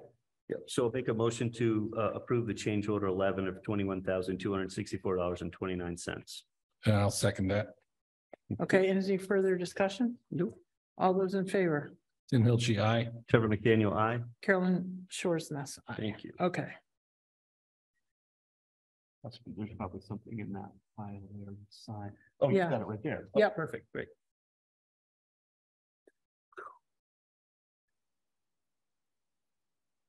Part of the reason I'm irritable tonight is because there's no air conditioning in this place Yeah. and it's humid. Why did? Because we're waiting for somebody to come fix our mini splits instead of paying the bill ourselves. I- They don't Yep, work. They don't work, Trevor. I don't know, they've been broken. Okay. Um. All right. Next item is sewer abatements. Trevor, you're gonna, um, look at these? Yes. Oh, good. Um, Trevor, you're gonna look at the sewer abatements and give us a recommendation for the twelfth. Okay, thank you. Um, we did treehouse already. So we just need to uh, review and approve the thank you letter to Mass DOT District Two. Um, did everyone have a chance to look at that? Say that again. Sorry. This is for review and approval of the thank you letter to Mass Oh, yes. DOT District Two for the sidewalk. Yeah, I in think, I I time think of- I remember that letter. Yeah, it's here somewhere. Um, I remember but. Yes, thank you for writing that. I just thought, hey, we ought to thank her. Yep, no, that was great. So I uh. Make a motion to approve the letter to uh thank the District Two for the sidewalk repair before the parade. Okay, And I'll second it. uh, any further discussion? Nope. Hearing none, all those in favor? Tim Hilchey, aye. Trevor McDaniel, I. Carolyn Ness, I, and thank you. The, it was lovely to have Yeah. sidewalk repairs was done great. before three fiftieth. Um, a letter of support for congressional legislation for the Deerfield River Wild and Scenic designation. This is to um the Energy and Natural Resource Committee. Uh, did this go out already? Did you stamp this already and went out already, right? It did. This is just a retroactive approval of it. This is, Sounds a- good. this is a, yes, we already supported We it. did. We voted to support it. We did, yeah. And um, it needed for the public hearing on June twenty-first, so Mhm. I authorized Chris to send the letter and then hopefully we'll approve the vote. Yeah.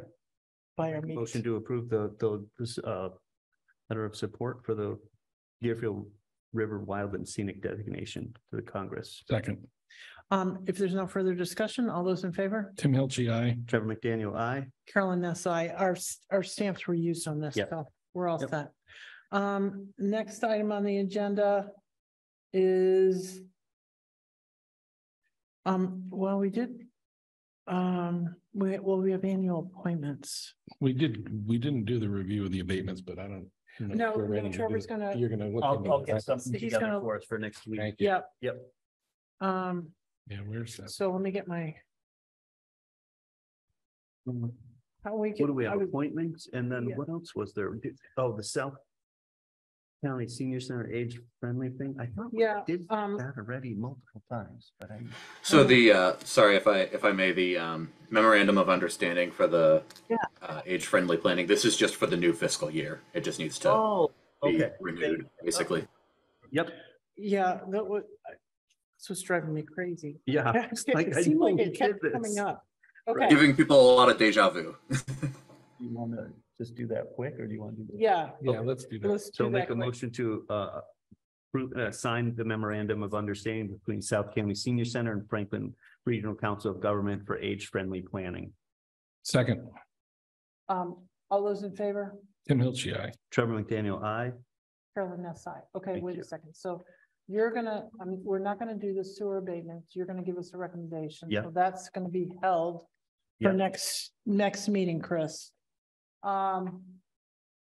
You know what? We need to sign. There's the memorandum of understanding for Franklin Solid Waste. Yeah, no, wait, we're gonna, let's, let's catch up on our signing, okay? Oh. We have the, Let's see how- we have the Treehouse Brewing that Oh. we voted Yeah, yeah. Thank and you. we did not sign. We did not sign yet. That's right. I, I don't want us to leave without getting No. all our signatures on this. Yep. Um, and this is the letter to DOT. That we just voted.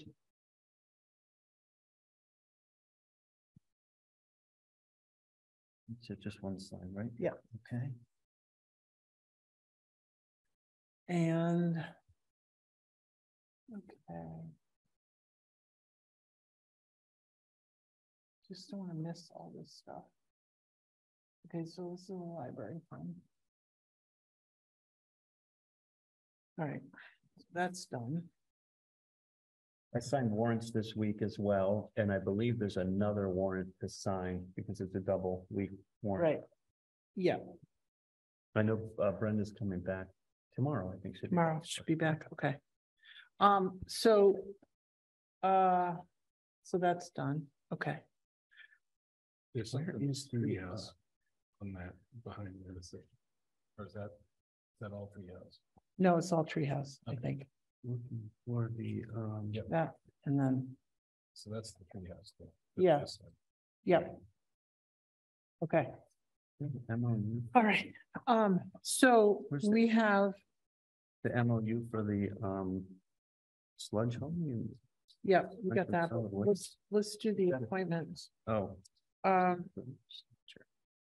so we have, uh, annual appointments for the Community Preservation Committee. who- We want to start with the beginning. Yeah, we're, do I, I should probably, Yeah, it starts with the ad hoc human rights. but we're gonna put that on hold. Because the building commissioner. Um, you know what? I'm missing that page. So let me use this one. Yeah. So yeah, the ones that are highlighted in pink are the ones that are slated for reappointment tonight. Okay, so um, we're gonna do the ADA coordinator, uh, Casey Warren. We're going to do the building commissioner, Bob Walden, with Dick Kalaszewski being the local inspector. Um, we're gonna be doing Denise Mason um, as Capital Improvement Committee um, member from the Planning Board recommendation.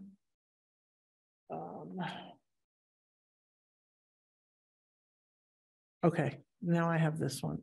Um, that we're doing Lily Dwight, Richard Ben Benson, and Sean Libby for the Community Preservation Committee. Um, we're doing Benjamin Byrne for the Conservation Commission. We're doing Laura Panetti and Denise Schwartz and Emily Gaylord for the Cultural Council. Yeah, we're just gonna vote all together. I'm not. Oh, what? No. We gotta do it individually. Don't we? Well, I mean, there's some that I'm not voting on, so. Oh, okay. Then we'll go back. Okay. Um, ADA coordinator, Second. all those in favor? MLGI. Trevor McDaniel, aye. Okay, Carolyn Nessai. Uh, building commissioner, Bob Walden, Richard Kalashewski, local inspector. I'll, I'll, Second. I'll vote for Bob Walden, but not Dick Kalachewski. Okay, Bob was supposed to get a replacement for the last two years and he has not yet. okay. Um, I will vote yes. And Um, just uh, some having discussion, um. What happens when we don't have somebody? Well, we've been, we've been asking Bob to get a replacement for, because he is a backup for other towns, Chester or wherever. And we've been asking to get a backup for Deerfield uh, for a long time because Dick retired from this a long time ago. And now, and every time it comes to appointment, we're trying to add Dick back in again. Yeah. And I'm saying enough. He, you know, he's retired. We, I've asked Bob over and over and over again. Dick is wonderful and he gives a ton of advice and he has a ton of history and knowledge, but he's retired. You know, and we keep appointing him again. And it's, it's time that we move on and Bob needs to find a replacement. That's my two cents. alternate. An alternate, right? Really? Just somebody to be there in case he goes on vacation or whatever. Right. Well, It's a pretty simple task. Yeah, I mean, I, I get your point, Cre- Trevor, so I think I'm gonna agree with you and okay, so we'll say Bob has to do that. Okay. Denise Mason to the Capital Improvement Planning Committee. Second? All those in favor? Tim Hilchey, Trevor McDaniel. Carolyn, aye. Sorry, can, can I just interrupt one second? Yes, I, I don't know if, correct me if I'm wrong, I don't think you actually took a vote to appoint Bob. We did not yet. oh. Okay. Sorry, I thought you, you just said that you just, you voted yes. I, I do vote, I, I second Bob Walden, yes. Okay, Okay, so I'll make a motion to appoint Bob Walden for uh, Thank you. the building commissioner annual uh, reappointment. and you're I'll second second. that, yes. All right, all those in favor? Tim Hilchey, Trevor McDaniel, aye. Carolyn Ness. Thanks, Okay. Chris. Okay, um, Community Preservation Committee. We have Lily Dwight, Richard Ben Benson, and Sean Libby. You have a second? Second, All those in favor? Tim Hilchey, aye. Trevor McDaniel, aye. Carolyn Ness, aye. Um, Conservation Commission, Ben Byrne. Uh, Second, Ben Burn. All those in favor? Tim Hilchey, aye. Trevor Carolyn Ness. McDaniel, aye. Carolyn Ness, aye. Cultural Council, Laura Paneni, Denise Schwartz, and Emily Gaylord. Second, All those in favor? Tim Hilchey, aye. Trevor McDaniel, aye. Carolyn Ness, aye. Uh, DDIC, we have John Paciorek, Senior, Acting Chair, Frank Morrow, and Chris Harris. Second. All those, And, and we found, and John definitely wants to serve again still? Yep. Okay, Great. all those in favor? Tim Hilchey, aye. Trevor McDaniel, aye. Carolyn Ness, aye. Okay. Um, Franklin County Solid Waste Management District Rep, M.A. Sweetland. Second, Um, all those in favor? Trevor McDaniel, aye.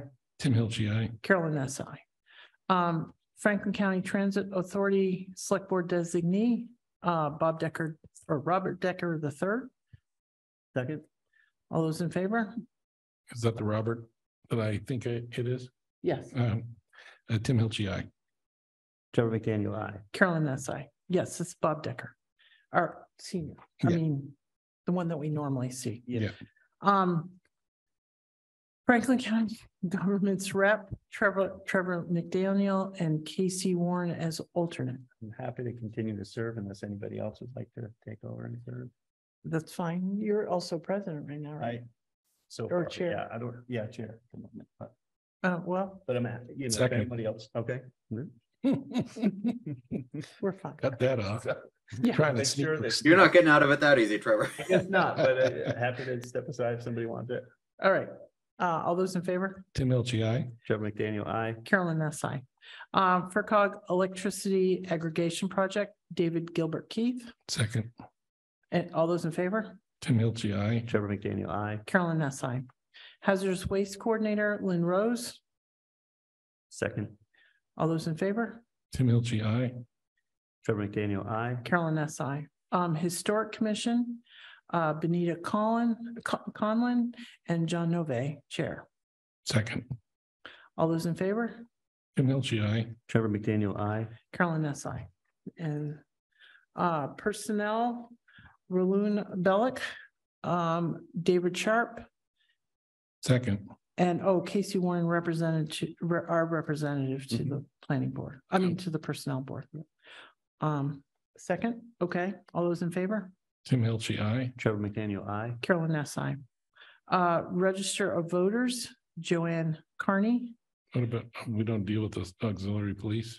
She, um. I don't have the she's still auxiliary police. Interested in doing it? I don't know. Did, you- Chris, did you uh, reach out to Anybody- Joanne Carney?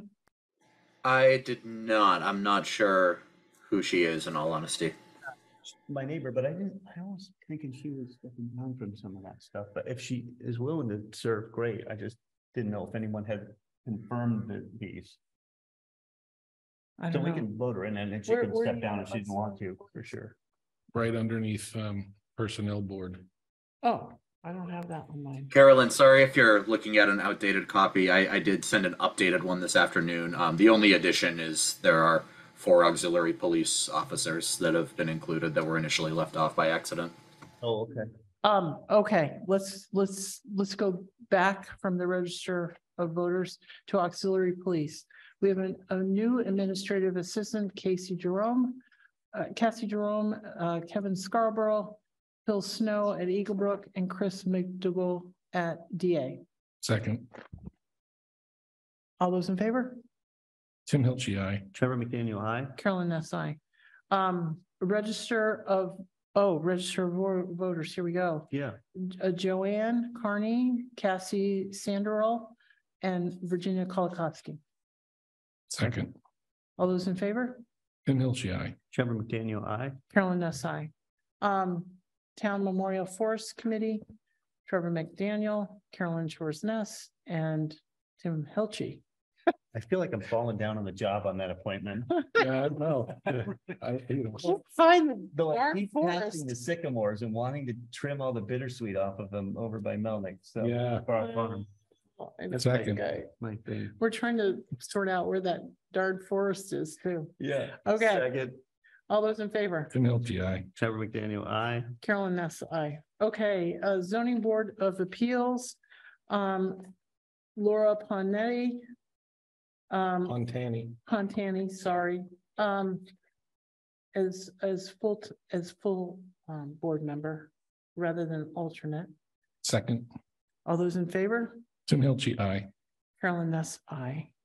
Um, so uh, full member, Yes, we're gonna have one, two, three, four, five. We'll still have five. We'll still have one vacancy still. for full member. Yeah,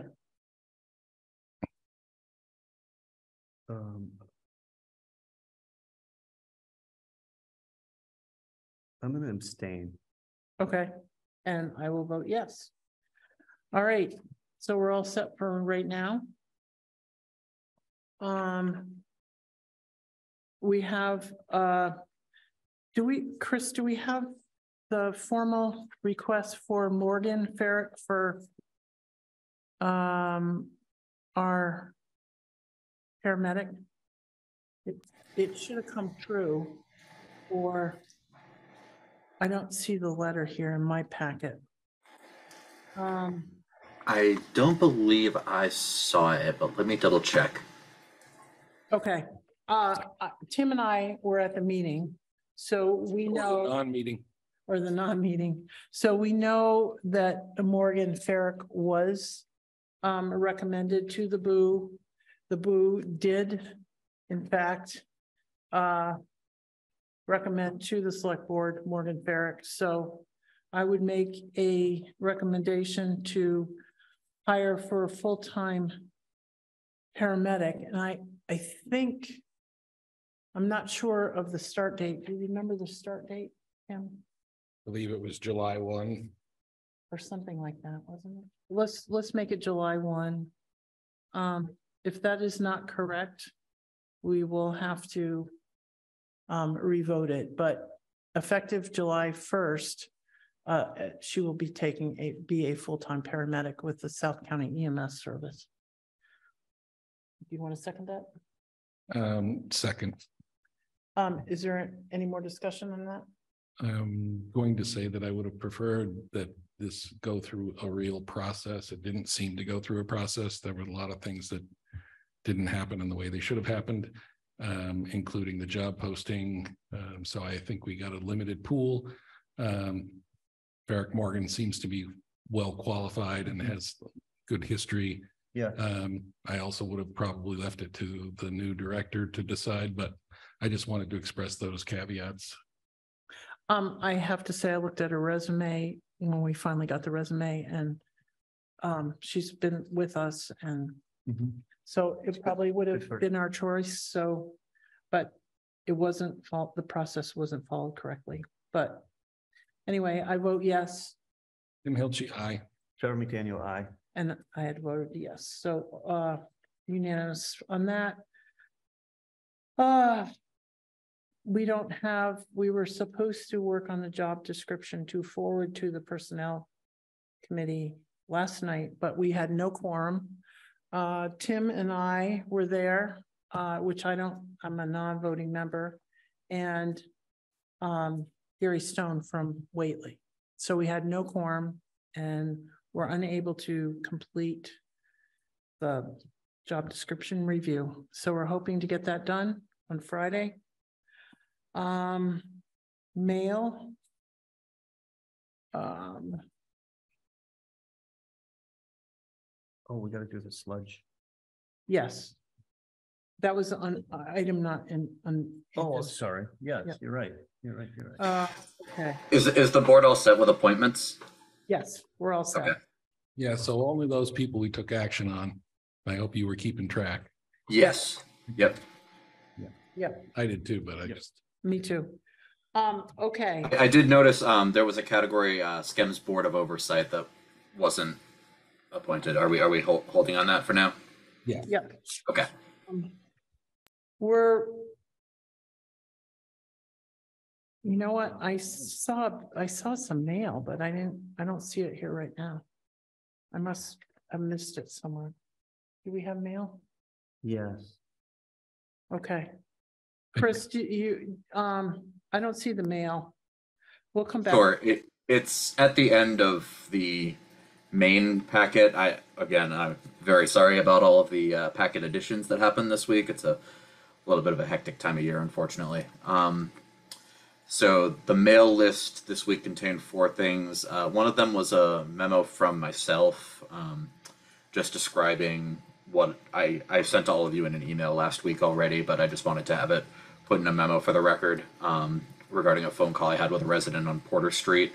Um, she just had some frustrations that she wanted to express, and you can you can read about those in the memorandum uh, involving funding for town projects and um, affordability in general. So um, I didn't know if the board wanted an opportunity to respond to that at all, or um, if you wanted any part of it read for the record. Um, what do you want to do about that? um, her point summary is that, uh, she doesn't agree to the spending or she doesn't agree to, is this the mayor, um, the new pro? I'm not sure It- it was exactly. Mainly just that the taxes are getting high, right? Is that the, and her, her cost for everything and I, That was a large part of it, yes. I think, I think every time our sewer bills go out, we definitely get, you know, mail and concern from the residents that, you know, rates are high. I, I can't, I can't not agree with that. They are, and it's, it's been a fortune to, um, to upgrade our infrastructure. It's very expensive to run a town. It's very expensive to do infrastructure. I, I sympathize. If there's other ways that the town wants to look at, uh, subsidizing, um, or means testing, uh, seniors, because not all seniors are, you know, on, a- I mean, they're on fixed income, but some are, you know, There could is, be a- on all there is a different. break, there is a break. Yeah, so I think, um, you know, this, the sewer is twenty-two million dollars of repair and it's, and it's very costly. We've got, you know, the lowest interest rate we could, the longest loan we could.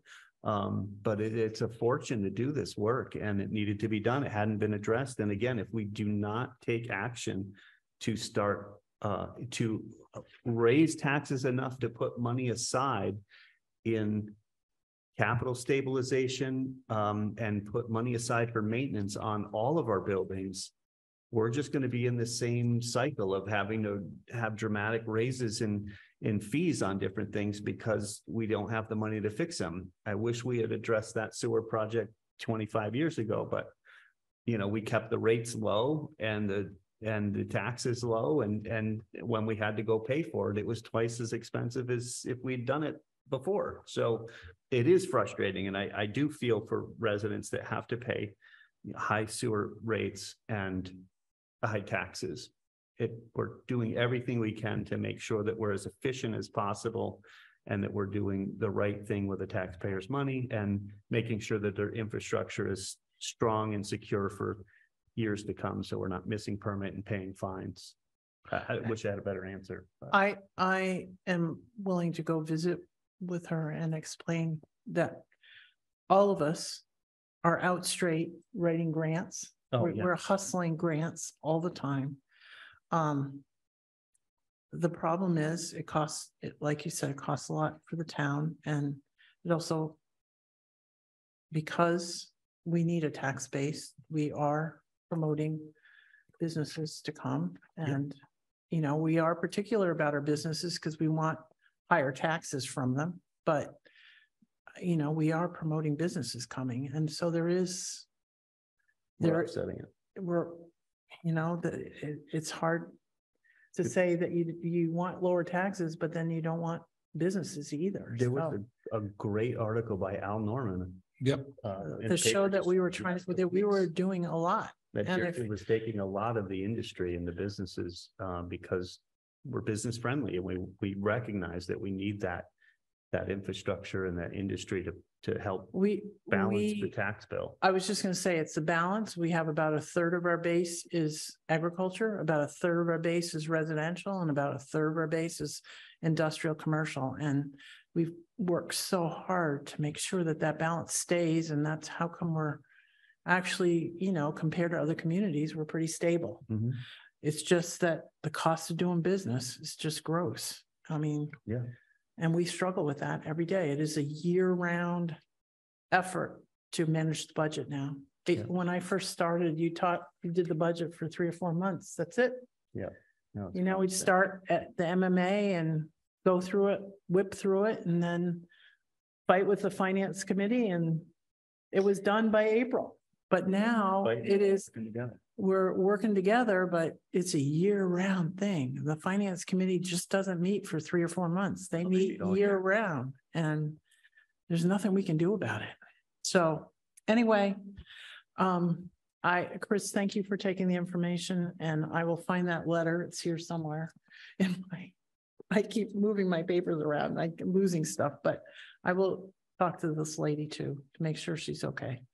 Um, moving on, items unanticipated, we have the library situation here. Did we deal with the resignation last time? No. Oh, we no, we have a resignation. We do. Um, I, uh, Can you read would it? like to, yes, would you pre- please read it? So this is from, uh, uh, from Raina Kilsbed. and her, uh, she has resigned from the, um, Deerfield Elementary School Committee. She had just, just gotten hired, but she was fortunate enough to. Elected. Uh, just, excuse me, just got elected, but also just got hired, um, at the uh, Frontier, um, element, uh, Frontier High School teaching, uh, chemistry to our children. So she's very excited to take on that position and because, um, because she is, uh, an employee, she can also serve on the school committee, so in the same district, so there has been some question on that, but anyways, um, she, she has, uh, given her resignation, so we're, we're uh, looking, actively looking for a replacement for this year until the next coming election. So if there's anybody that is serving now in the PTA or is involved in, or really wants to take a year and um, see what it's like to serve on the school committee and um, help our community and help our children um, and the administration run a wonderful elementary school, uh, we would love to hear from you. So if you're interested, please reach out to the um, Chris Nolan or, or Casey or, or reach out to any of us and we'd love to, um, hear from you.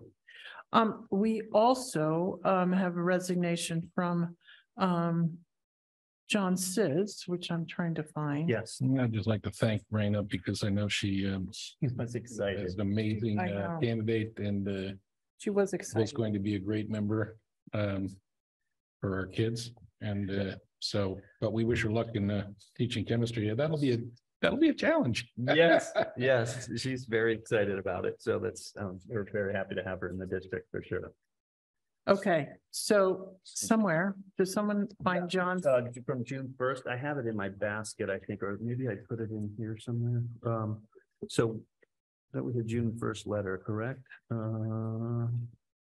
Well, I saw it. I saw it and I have it Here, misplaced it here I've somewhere. got it. You Um, got it? Yep. So it's, um, to, the- to the, uh, select board, um, Oh, here it After is. serving for many years on the Deerfield Memorial, Memorial Day Committee, I'm announcing my retirement effective June thirtieth, twenty twenty-three. This also includes the positions of Veteran Grave Officer um, and Chairman of the Veteran Street Sign Program. I'd like to thank you and the staff um, and all those who have participated in and supported the events for our veterans on Memorial Day and throughout the year. It's been an absolute pleasure working with all of you. And it's been a huge pleasure and we've been so grateful to have um, John Sis heading up that, that um, committee and doing all the work he's done for so many years um, on behalf of our veterans and, and residents. And uh, he's put together a great team and there, there is a great committee and there's a new chairman involved. So he's, he's left everybody in really good hands and we, we all thanked him a lot at the, um, at the Memorial Day events this year. So it's been wonderful. I, yeah, I want to say that Jo- that John has been wonderful to work with over the years and he's done an amazing amount of work. Making sure that it was always a seamless event every Mhm. year. So thank you, John. I, I really appreciate it. Yeah, Um, and I, I want to just say that I I met John last year, last year's Memorial Day um, event. And um, it's obvious to me that the reason why Deerfield does such a nice job with these things is because John was a great organizer and uh, Yeah. everything comes off well. It's very respectful and Yeah. um, so we're gonna miss him. Yeah, for sure. He cares deeply. I was just gonna say, it was very personal, Yeah, lovely events. amazing man. Okay, um. Authorization of the invoice number three to um Johnson Roberts Associates Incorporated Architects for the Deerfield Tilton Library. Tim, um, do you have a recommendation on this? Um, I do, I believe that uh. We should support it, and as soon as we get the uh revised contract in place, we should pay the bill. Um, so I. So um, you want us to vote this based on a revised contract, right? Right, Okay. Um, would you make that motion then? make a motion that we approve this uh pending the the uh. Completion of the revised contract for the library, Tilton Library project. Okay, um, do you second that? Charles? Yes, I'll second that. All right, uh, if there's no further discussion, all those in favor? Tim Hilchey, aye. Trevor McDaniel, aye. Carolyn Ness, aye.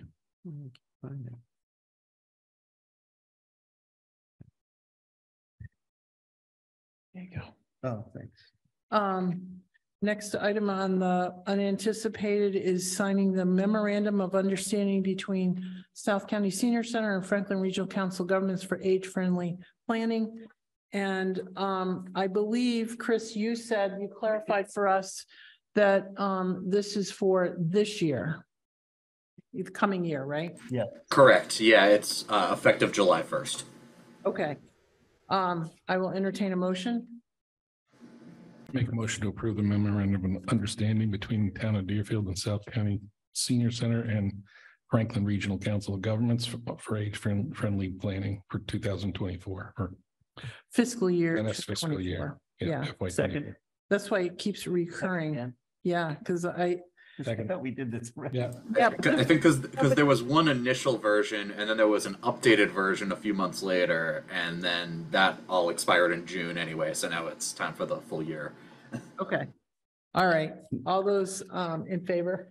Tim Elchi, aye. Trevor McDaniel, aye. Colin doesn't. Deja vu, we just did it twenty minutes ago. I know, but Uh, I'll just, uh, add that if we've already paid any money based on the last thing we signed, that that we don't duplicate that effort.